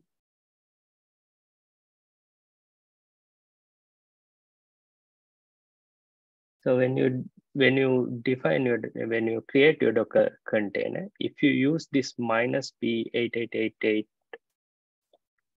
uh, part in your command, then you can use uh, Jupyter Notebook inside the Docker container. If not, you have to use it outside the Docker container because this option uh, is required to run Docker container inside the uh, container. But the only thing is you have to change the paths.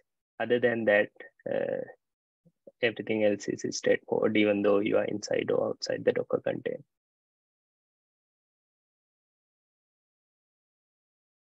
So we can start the Docker container. Uh,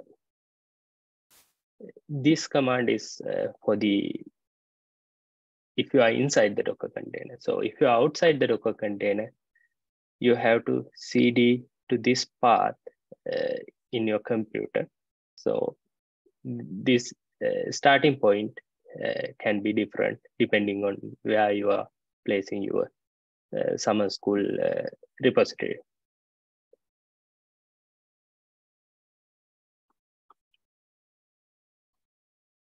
Okay, so when we do this, we will get uh, this kind of uh,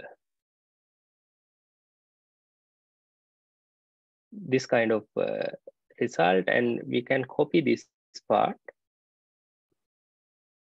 The the address with uh, 127 in it and copy this and paste it on. Let me get another window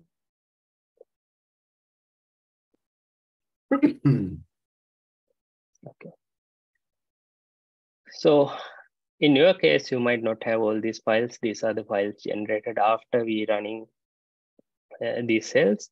And don't worry about that. You will only have these four files if you are doing this for the first time. Just go to this uh, DNDE spectra.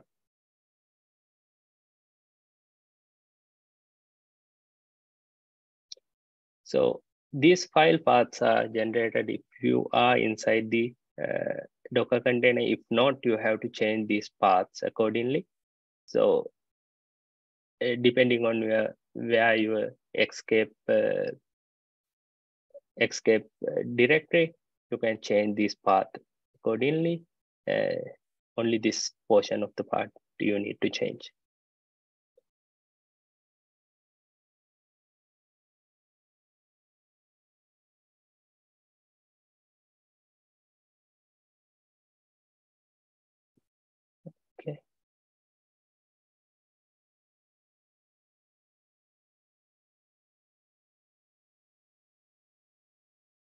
So the number of events we have was 100.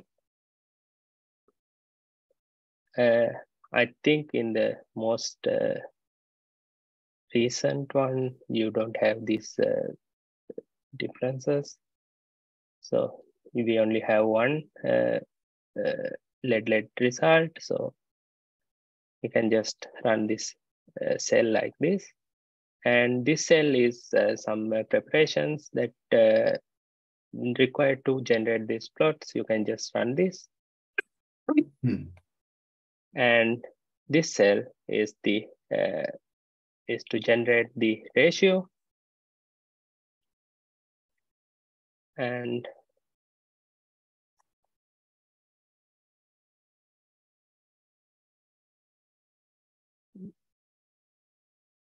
since we have only one uh, let result. I'm only, I'm just deleting the uh, second let let result part.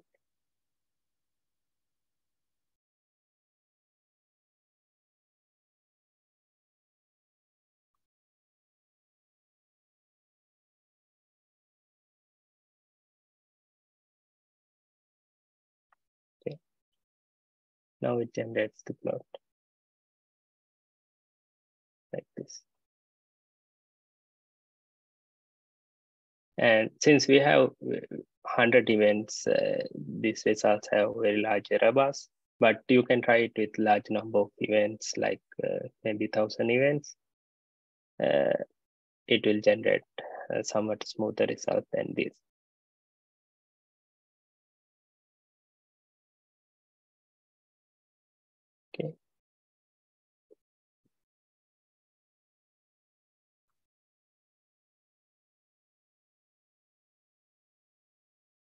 So I think now it is a good time to take a poll uh, to see if uh, everybody able to make this result.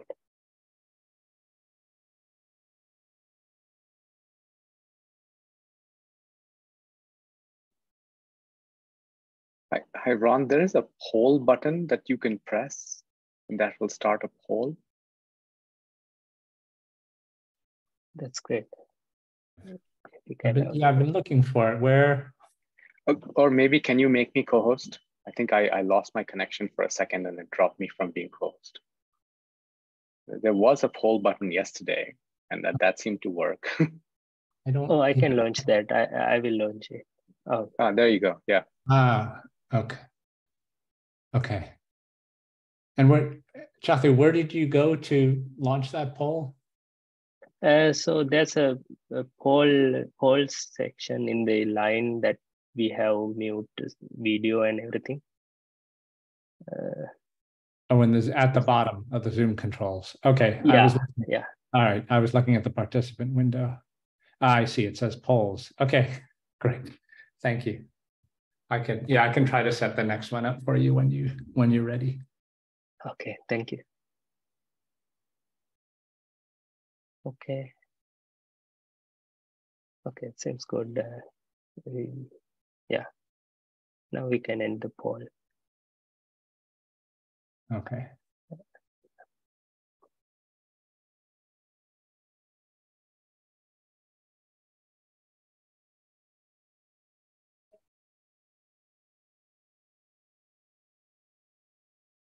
Okay, so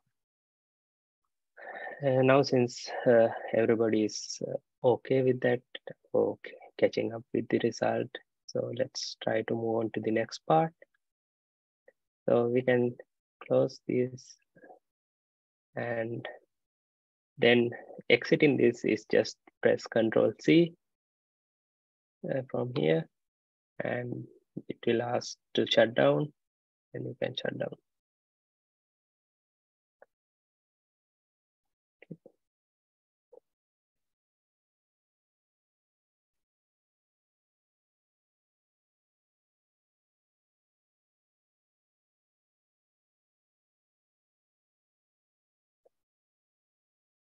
So uh, if you didn't make make any changes, uh, then it will just uh, plot uh, plot two plots. Uh, let me show the changes uh, if I was able to do that.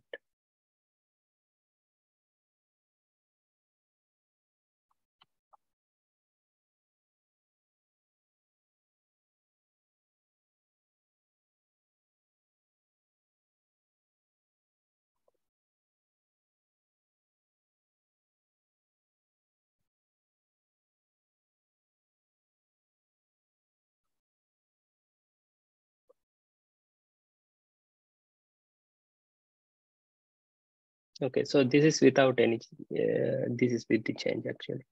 So uh, there's a line for the second uh, file of leadlet. That means if you have two results, then we can uh, uh, we can generate uh, two lines for leadlet. I was planning to do that, but since we have we don't have enough time, I only I only have time to generate one leadlet event. So you can remove the second leadlet event from here. Then if you remove that, then you have to remove all the lines uh, in the in the fourth cell uh, with the leadlet 2 in it uh, so that it uh, it won't give you an error. But if you if you run as it is, it will generate the same plot twice and you you will have uh, two alpha s point two and alpha s point three in the legend. That's the only thing happens if you don't delete anything.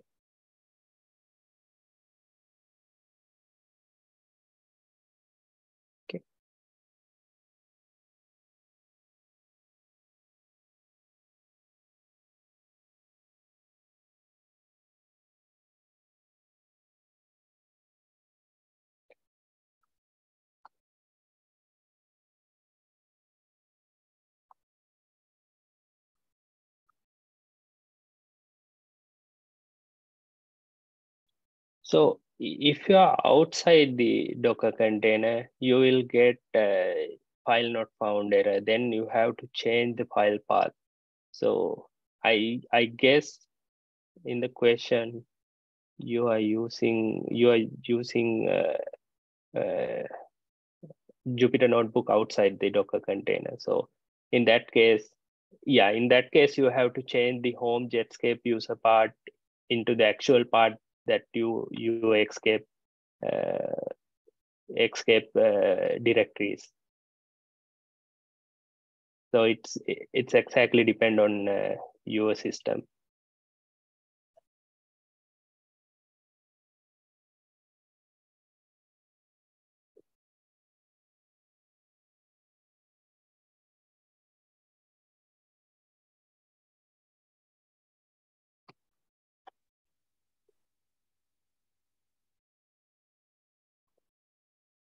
Okay.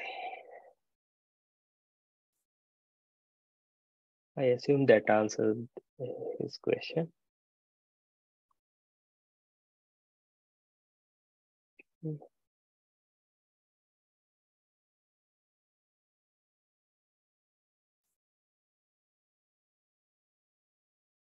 Okay. Uh, now then in the next part, uh, we are doing some jet analysis. In this case, we are only using 50 events and you will see that when we are using 50 events, we will get some issues with the plots. But if you use uh, like 200 or 250 events, then you will get uh, all the results properly. Even if you can use even more, that that would be perfect. So for this time, just we can use uh, 50 and and I will show what I got uh, when we are using uh, 250 events. Uh, then you can do it as a homework. Maybe. Okay, first let's look at this XML file that we are using because in this case, we are not using pgun, we are using uh, and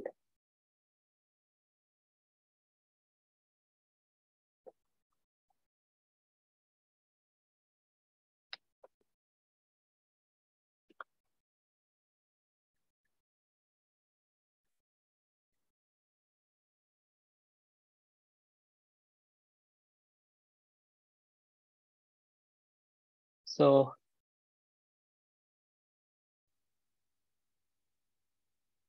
in this case, my XML file, uh, I just set it to uh, 250. So I will set it to 50. And you don't need to change this name. I will change it because I want to show you the results with uh, 250 events. That's why I'm changing this and you don't need to change this.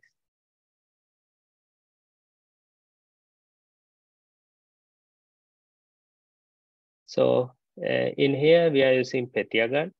Mm. We are setting PT hat min to 100 and PT hat max to 160. Uh, that is uh, similar in Pythia, we are using PT hat region uh, so that jets are created within that region. And for the energy loss, uh, we are using uh, matter energy loss for vacuum and for hadronization, colorless hadronization.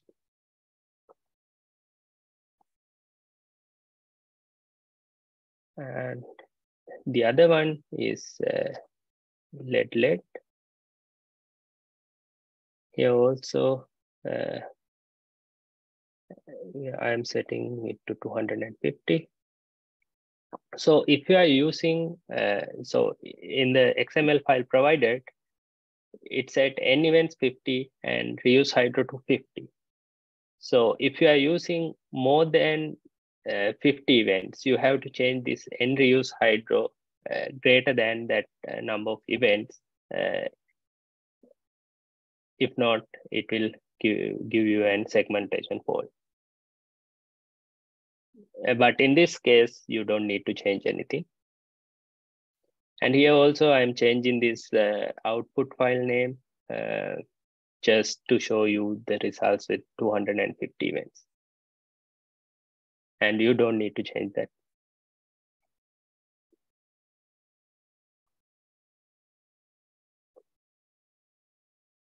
And here we are using initial state profile provided with the hydro in the examples directory.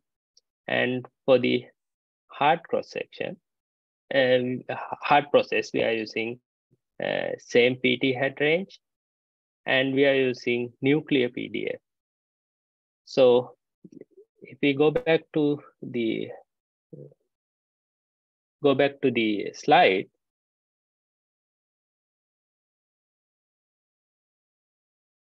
Okay, so you can uh, decide the reuse hydro value depending on how many hydro events you have. In this case, you only have one hydro event. That means one hydro event from file. So in that case, you have to use a value equal or greater than the number of events. But if you have, if you, you may have like many hydro events, let's say you have 10 hydro events, then you can change it. Uh, if you need to run 50 events, you can change into five. That means after each five events, it change the hydro profile to the next one. So if you use something less than that, what happens is after hydro profiles are finished, it will give segmentation fault. So make sure to use the reuse hydro value properly. Uh, in all these simulations, you have to use it equal or greater than the number of events.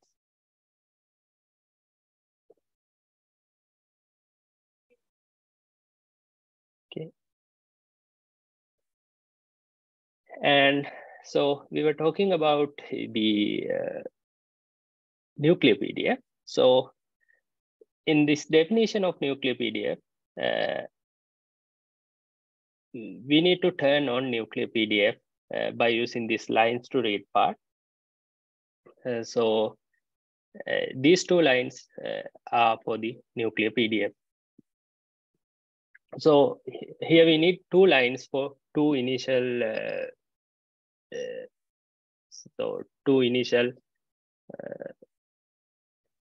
two initial nuclei to collide on and uh, these two lines after that are for the uh, type of nuclear PDF you need to use. So you can choose two different nucleus or same nucleus. So in this case, we are uh, uh two different nuclear PDF or same nuclear PDF for both files, both uh, nuclei. So we are using this nuclear, nuclear PDF. And last, these two lines are for the PID of the nucleus. For the lead, we use this PID.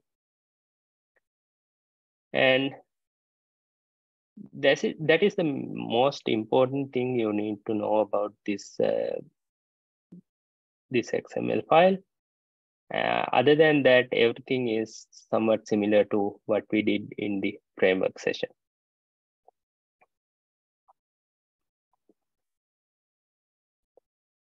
So now uh, we can run these two lines. First one, oh.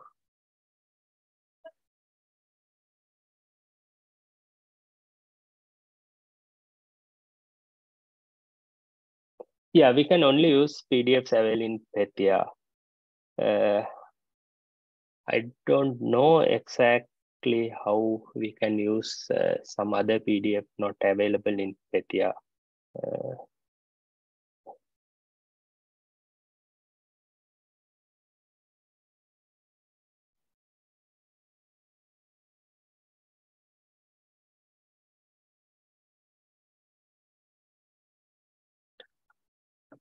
And let's run the PP uh, events. So I'm using 50 events.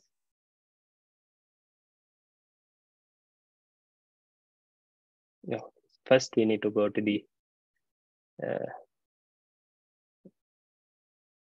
Xscape build directory. Then you can run this command. So oh, do you want me to set up a poll, uh, Chathu? Uh, So let's wait until uh, these uh, two events, uh, two sets of runs are finished, then we can start a poll, I guess.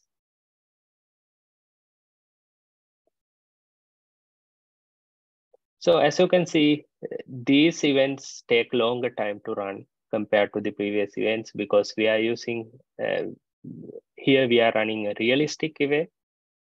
But yesterday, uh, as you can see yesterday, it can take longer time uh, when we are including Hydro or uh, other modules available.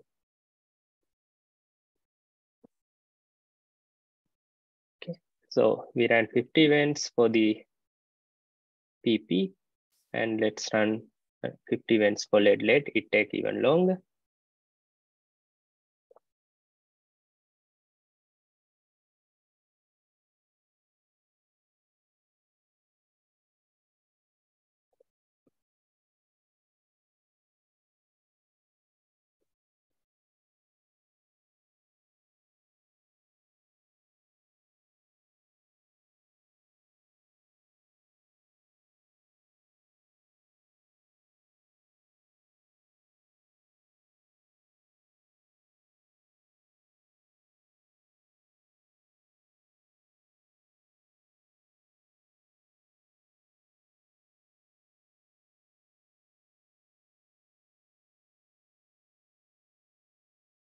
Okay, so now it is a good time to take a poll. I guess we can take a poll if everybody, if to see if everybody is online. Okay, thank you. Thank you, Ron. I can see the poll.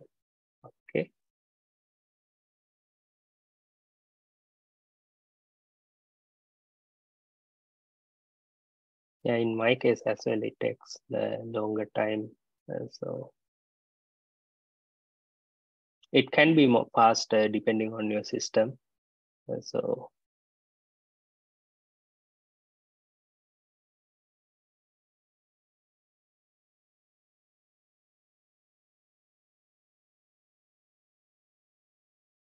So we'll wait until 11.20 and uh, try to move on after that.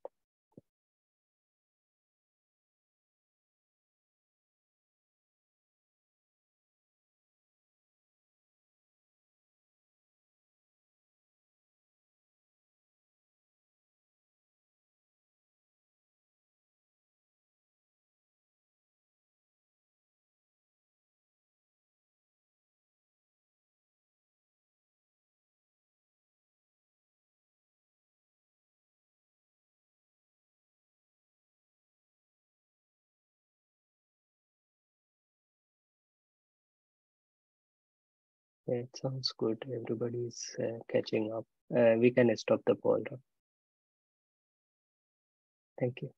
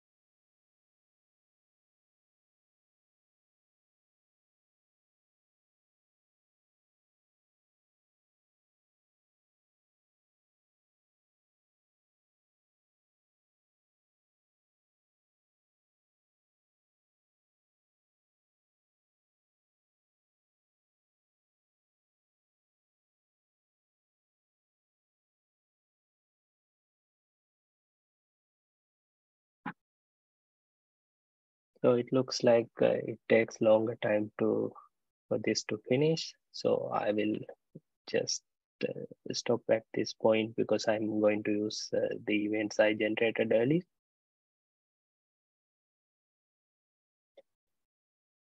And then let's move on to the next part. Uh, so here uh, we are doing is we are doing the uh, jet reconstruction from here, then do the analysis in the uh, Jupyter notebook. So for that, first you have to initial, uh, uh you have to do some initialization. Uh, for that, you need to just run this init. And then, mm, then there might be some error uh, which is coming from this uh, coming from this module. So you may need to install this module uh, as well. In my case, I already installed, so it won't do uh, much. But if you haven't installed it, uh, you might need to install that. And then uh, we can do the uh, jet reconstruction. For that, there is an analysis script. Uh, it is jet reconstruction.py. Let's see what is inside. So the most important part of this is you have to change the number of events uh, to whatever the number of events you have. So uh, I think this is set to 50 in your case, but if you have more events, you have to change that to uh, the number of events you have. I think it is uh, it is uh, line 34. Uh, other than that, you don't need to change anything. It will uh, reconstruct jets uh, from the events that you have.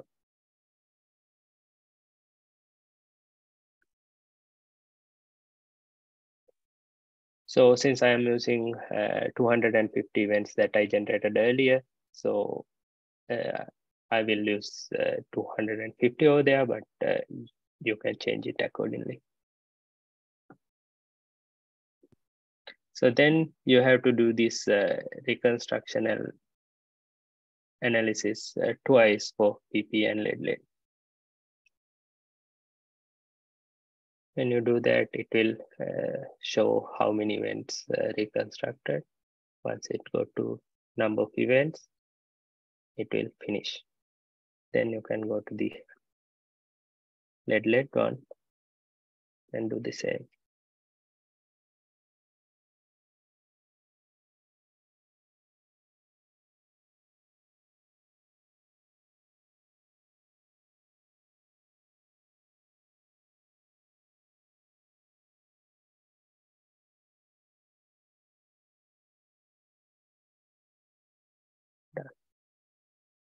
So now we created the uh, files, uh, two files uh, for PP and lead lead after reconstructing. Uh, these files looks like this and uh, it contains uh, each jet and its constituents inside. And here we use R equals 0.4. And now we can do the analysis in the uh, Jupyter Notebook. So, so now, uh, can we have a quick uh, poll, uh, Ron? Yeah.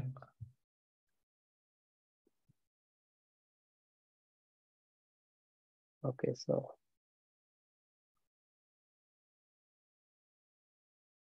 okay, looks great yeah, it can take a lot of time to uh, do the simulation. Uh, but you can always uh, try with higher number of simulation as a uh, high number of events for this uh, these simulations as, as homework. Then your results will be more uh, with less error. Okay, it seems good. Uh, so nobody is stuck. Uh, everybody is uh, working on. So we can move on. Okay.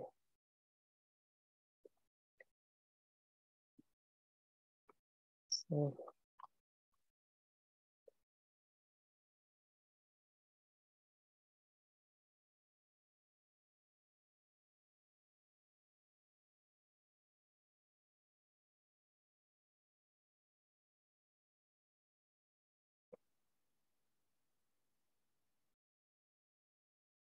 So here you need to go to this uh, jet analysis part.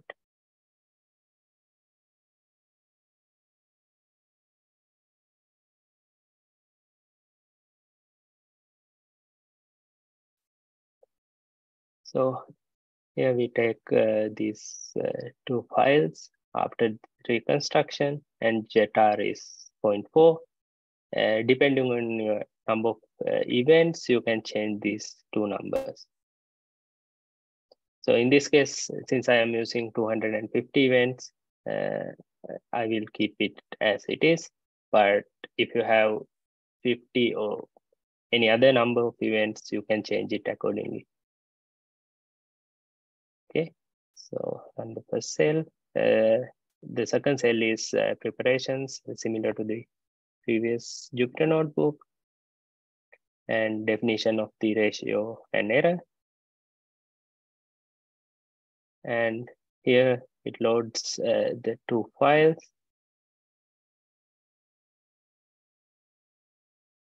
Now uh, we are moving to the jet spectrum. Uh, the definition of jet spectrum used here is this one. And using these uh, two uh, reconstructed jets, we can create the jet spectrum like this. And then the jet RAA from these two results we can generate like this. So it's little above you can uh, you can always change the limit of y like uh, maybe up to 2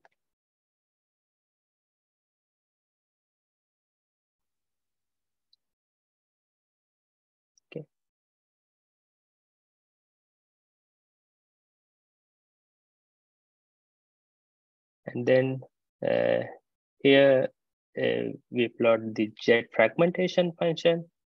The definition is given here.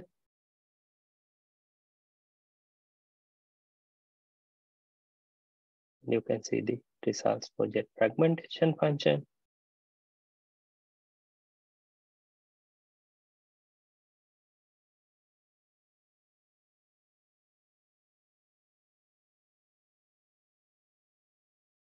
And the ratio of the fragmentation function.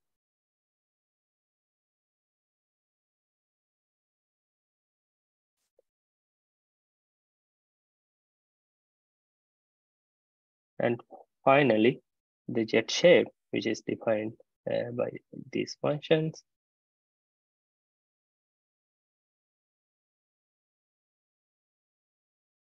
And the ratio.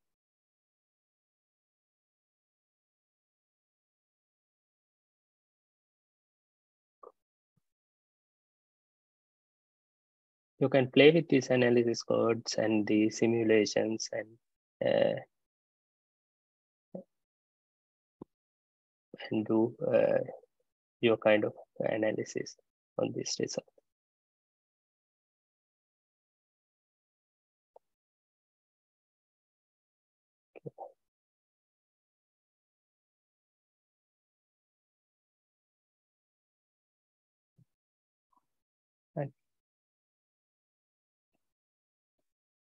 Uh, for the last time, we can have a poll for this part. Then I will hand over the session to Ritoban.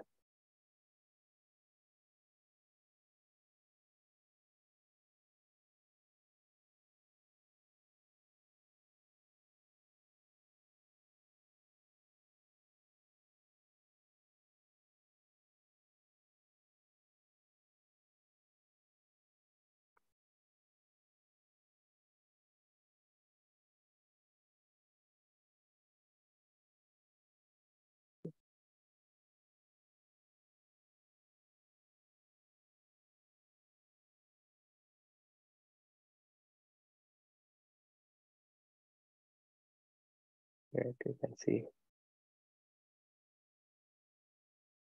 Most of the people are uh, done or caught up. In caught up. So that's great.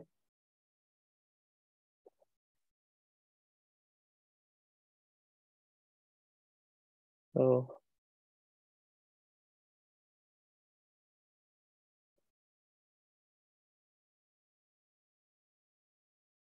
The next part is the hydrodynamic medium response. Uh, so Ritoban will take over from here and uh, show you how to generate uh, a MUI uh, from this hydrodynamic medium response result. Ritoban. Uh, thank you, Chathuranga, for your presentation. Uh, Dr. Soltz, can you make me the co-host? Only then I will be able to share my screen. Uh, yeah, hang on just one second.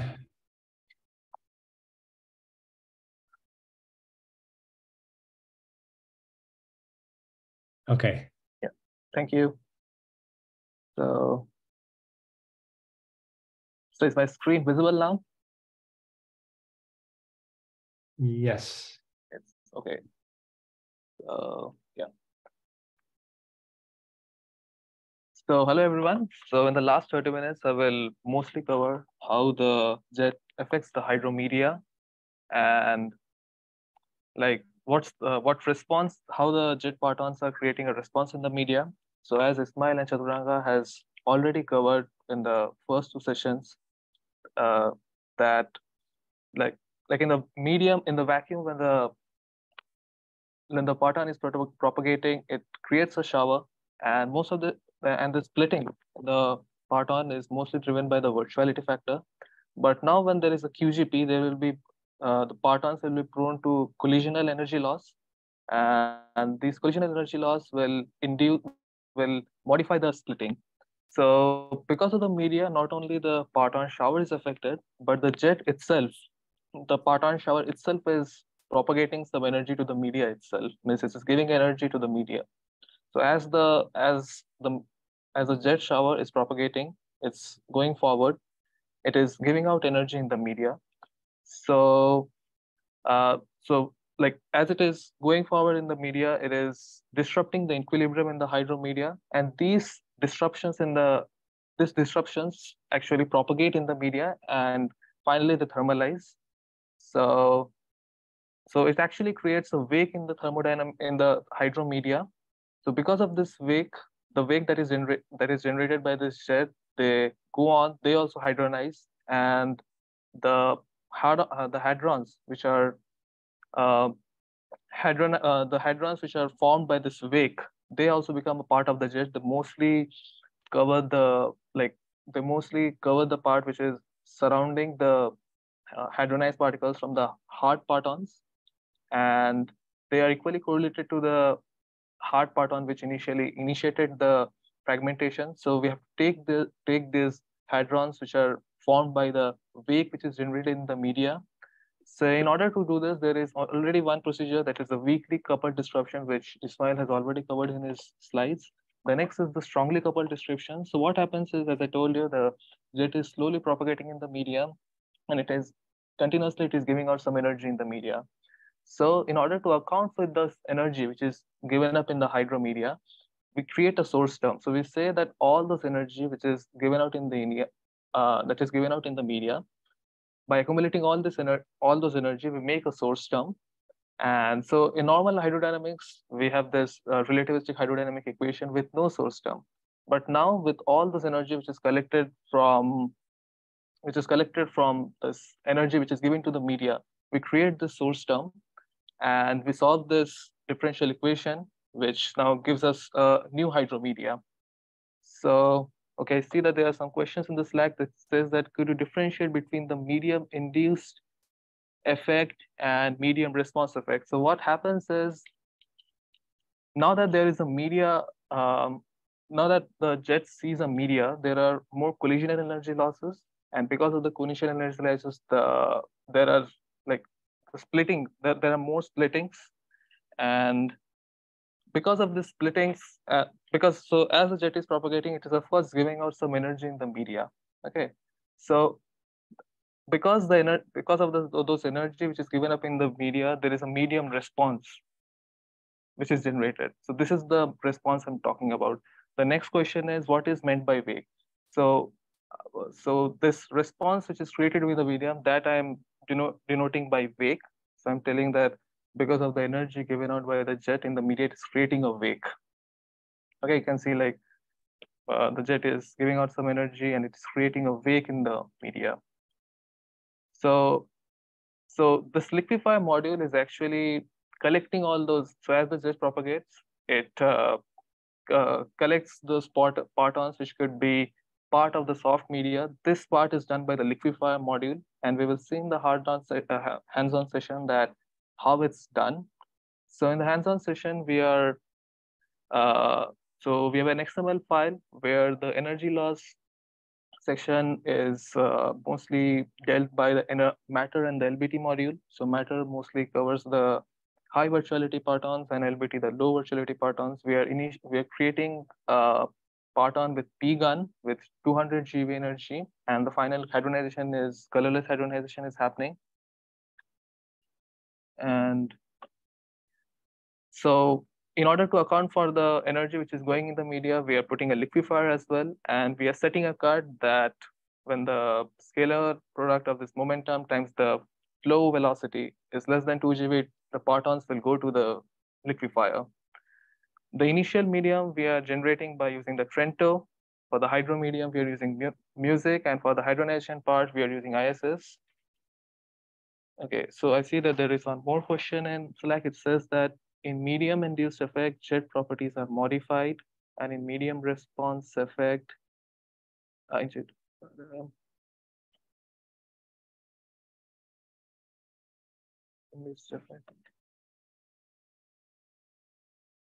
See, so when the jet is propagating because of the media, the jet itself is changing, of course. So because there is media, there will be more collisional energy losses. The splitting will be much more frequent. And because the jet is also giving out some energy to the media as well as well. So the media will also change. So both are changing. Okay. So going forward so in our xml file before like previously we only had one hydro session but in order to like in order like in order to account for the source term we are also putting a second music file. So what will happen is the mu the hydro profile will run from the hydro profile, we'll have the information about the temperature and the flow velocity. We will use this information in the matter and LBT module when where energy loss is done. So as matter and LBT is running in parallel, liquefier is also running. So, so as the jet propagates in time, it will see that, okay, like at this time split, this amount of these number of partons can are affecting the media and all those partons are stored up in the liquefier. Okay, so so now the whole uh, now the uh, shower has propagated. We have in the liquefier we have collected all those partons which are affecting the source term, which, which is affecting the media. So now we are again running the hydro, uh, again, uh, again running the hydro, uh, but now we are running it with the source term. Okay, and how we are generating this source term? We are generating this source term with all whatever information we have collected in the liquefier.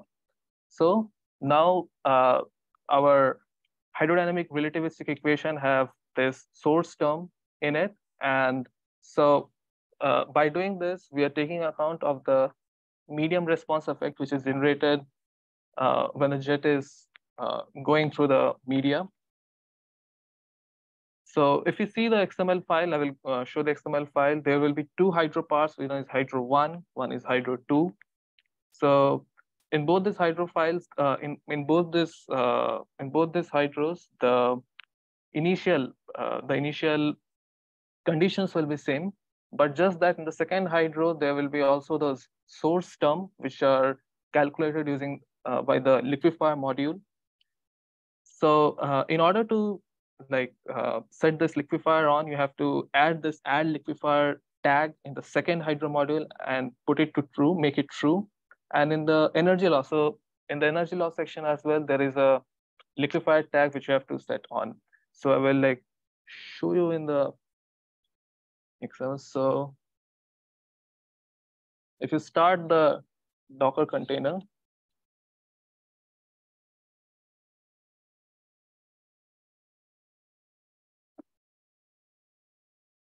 And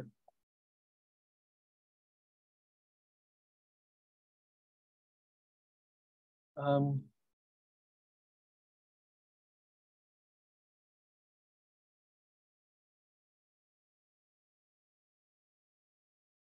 So here you can see that uh, we have number of events because we have a little shortage of time. So we are like only we will be only generating only one event. We have set we have uh, make this set reuse hydrotech to two. Um, and uh, as said, we have uh, p-gun with initial transfer momentum set to 200. And we have the liquefier, uh, this liquefier module section where like it has different parameters and this is the first hydro module. This is the, uh, and then there is the second hydro module as well. So you see that in the second hydro module as well, there is an add liquefier term, which you have to set to true. And in the energy loss module as well, there will be an add liquefier section we have, which you have to set to true. So I think that uh, like uh, when you have git pulled the repository, so in your section, uh, in your XML file, this liquefier section will be there. So what you have to do is to first copy paste this section. Okay. So you just need to copy copy this section. Okay. So once you have copied the section, uh, you need to go to Xscape, Xscape directory. In the config directory, you have to go, go and open the Jetscape main XML file. If you go to Jetscape main XML file, there the liquefier module is not added in your version of Xscape. Okay, I've already done that for myself. So, uh, so you need to paste the liquefier section which we have just copied. Okay, but make sure that you do not copy it inside some other like you do not copy it. You know, do not copy it under the inside elos or in uh, inside the hydro section. Make sure that it is separated from the other uh, modules. So once you have pasted it, we are ready to run the XML file. So maybe uh, we can do a poll now to see that if everybody is on the same page and if everybody has copied the liquefier to the Jetscape main XML file.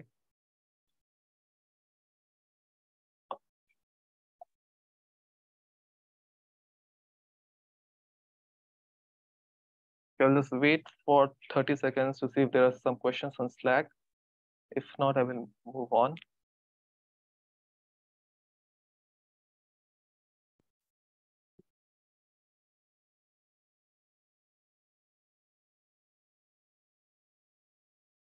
Okay, I see that around 75% have said that they're all caught up. So let's go on to running this XML file. So in order to run this XML file, you have to go to the build directory in Xscape. So and just write run Jetscape, run Jetscape, and the folder is, so what you can do is in the GitHub page for 21st July 21st, uh, 21st July Z section, the code is already there, what you have to run. So you can just copy paste this, uh, this section, which specifies the location of the XML file, which we have to run. So I've copy pasted this and so simply paste it.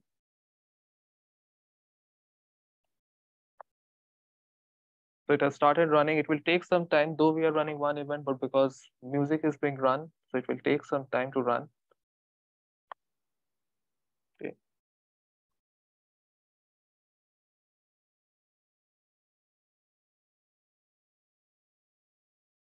So by the time uh, like it is running, we can discuss some other things because it's less time. We can. I have some data which I've already generated. We can do an analysis on it so you can see that um,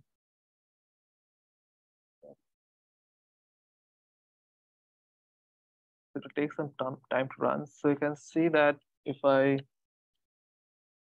if I open the July 1st Jets directory, there is a file called music evolution, which has saved all the data which will come up after the evolution. So in order to do the analysis, I will open uh, Jupyter Notebook. So I'm going to the notebook directory. And now if I want to open Jupyter Notebook, I need to use this command, which is there in the GitHub page. Doesn't copy and paste it. So I'm doing all of this inside the, okay. Okay, it's taking some time. Okay, I won't be able to run Jupyter Notebook outside it. Okay. What I can do is, so I will be running the Jupyter Notebook inside the Docker container. You can do it in your in your system. You can do it even outside the system, but my system has some problems. So I will just stop the running of the event and I will just open the Jupyter Notebook.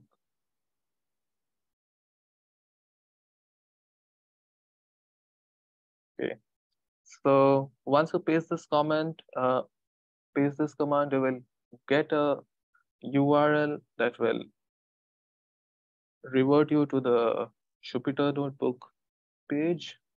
So I'll just copy paste this. This is the same thing which Chathuranga did in his session. Okay. So in here, we can see that uh, you will have various files.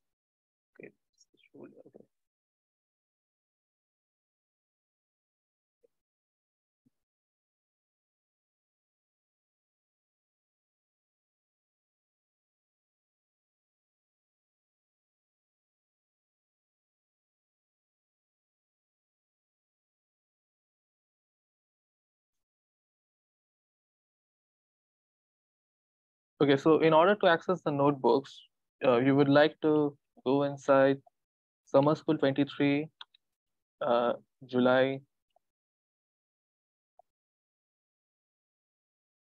July 21 JET section and inside the notebook directory. And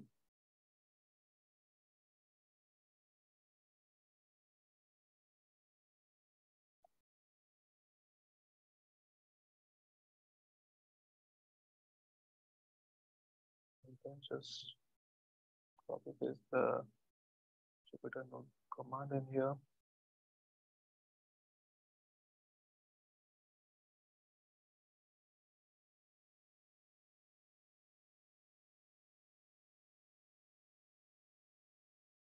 Okay, so uh, in this Jupyter Notebook page, you will see several files. We are only interested in this Hydro movie medium response part. So as I told you that um, in the July 21 JET section directory, there is already a music evolution part which stores, uh, which already has the data which we can analyze. So in order to run this blocks of command, we just need to press shift enter. So this first block just deals with setting the graph parameters. So shift enter. The second block is setting the color map So this is the uh, result folder. I have uh, like in our case, it is saved in Music Evolution. But if you want to do like if you want to generate a movie with some other data, you need to change this as test folder. And these these are our two files which we'll be analyzing. The first is the evolution all x y eta music one. So this is the data which has come out of the which has come out of the hydro profile, and this does not include jet flow. Okay, and the second data includes the jet induced flows. Like I was talking about the wakes. So these data con uh, consist of those wakes. So if I run this thing,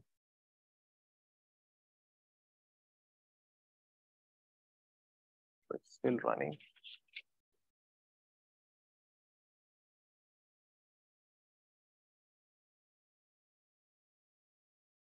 Okay, done. So we are, we want to make a 2D uh, 2D contour in the transverse XY plane. So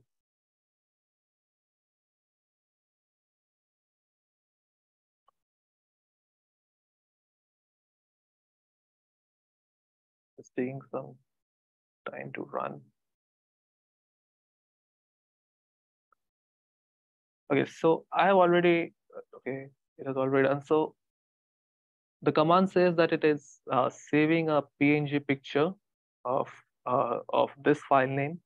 So this is the XY contour. If I open it, it looks some, something like that. So this is a snapshot is, uh, of the of the wake which is generated. So you can see that uh, because of the energy deposited by the jet, it is, uh, and those energy are like propagating in the medium at a speed more than the more than sound. So it is creating something like a something like a shock wave effect. So you can see these are the uh, these are the areas which have temperature larger than the background and these like these are the high pressure regions. These are kind of a low pressure regions. So these have temperature lower than the background media.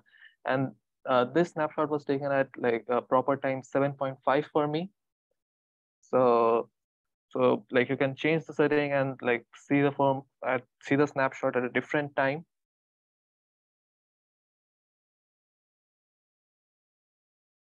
So this is the database generated by, by running this block of code. The second is we are plotting a tau versus x, x plane graph. Okay, so this is also saving the figure uh, med rest temperature contour tau x.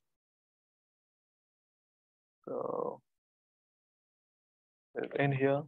So this is the picture. You can see that in the x-axis we have tau, and in the y, which have the we have the x coordinate. And these dashed lines are actually the are actually form the light cone. So you can see that all the energy which is which has been given out by the jet in the medium has been smeared out inside the light cone. This validates that our like this uh, use of the second hydro validates causality, like whatever we are doing of whatever we are doing, like adding the extra source term, that that procedure is correct as it is uh, satisfying the causality conditions that is inside the light cone. So you can see the smear of energy which is happening inside the light cone. And for the last part, we want, so, so th this part only created a snapshot. We want to create a movie by combining various snapshots. So in order to do that, we are running the last code, last piece of code. So there's a question is okay, this is not the answer. Okay. It's taking some time to run. Last one.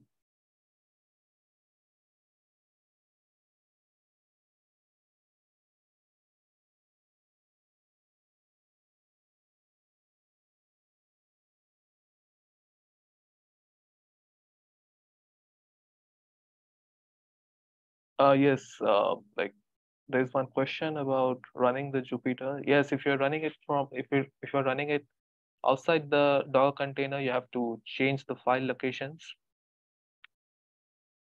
Like at the very beginning, you have to change these locations, these ones. Or you can just hard code uh, instead of path join, you can just from file and just hard code the the location of that file which you're opening.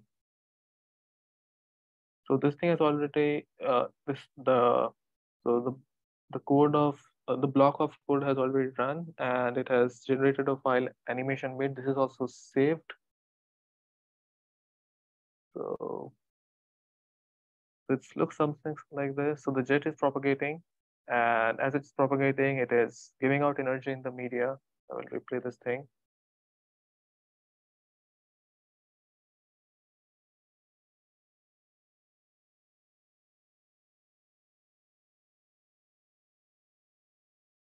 So this is for this is all uh, with the analysis part.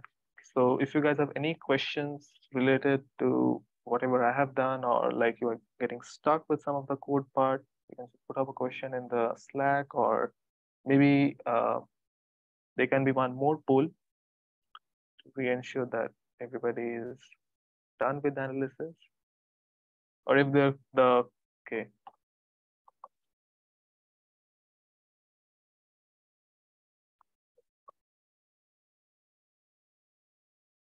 Okay, see that some people are stuck. Okay, can you explain once more why the animation evolves the way it does as function of time? Okay, so so in the XML file, uh, what we did was we took a pgun. Okay, it, we took a pgun. That pgun, that Parton was initially starting from x uh, from the origin, and it is going along x uh, along the x-axis. Okay, so it's going along the x-axis. As the jet is going along the x-axis, we see that it is giving out energy in the media. Okay, and the media that is uh, that and the energy that is that is given out in the media that is slowly being propagated out. It is it slowly propagates and then it thermalizes. Okay, so and because the propagation of this energy is uh, like is happening at a speed much larger than the speed of sound in the media, so that's why we see this shockwave kind of effect.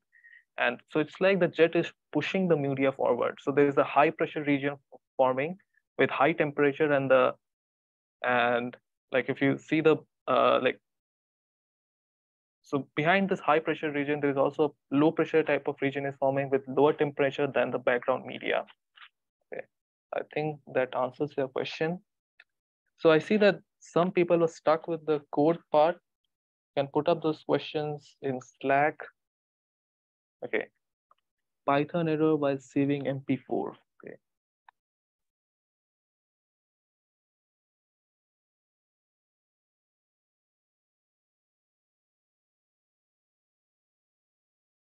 Okay. Can you like, uh, so were the other part of codes running fine or uh, they showed similar kind of problem? You can answer in Slack itself. Like, yeah, others are fine.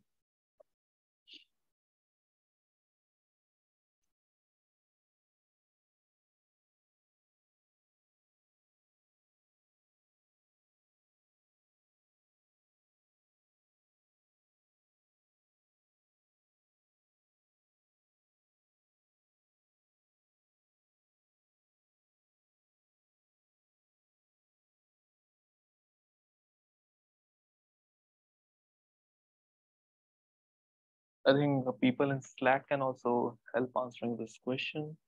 Like,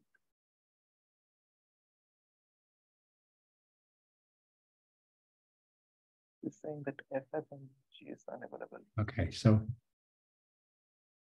we're we're coming to the end. Mhm.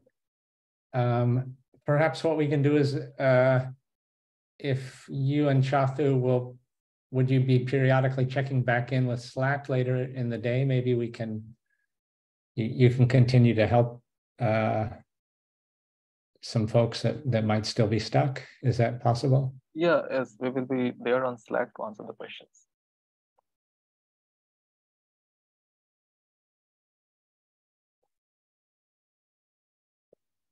Okay, so we'll, I, I guess we'll, we'll wrap up then. Uh, if, if you have any uh, remaining questions, you type them to Slack now. We have a, a few more minutes.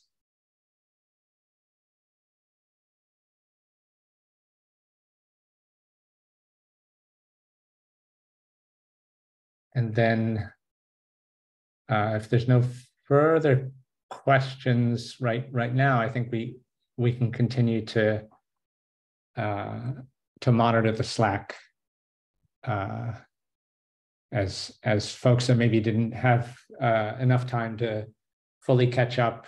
Uh, uh, you know, can can continue to try the exercises through you know throughout today and into the future.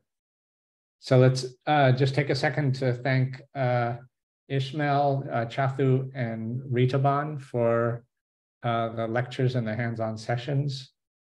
They're, they really did a, a fantastic job.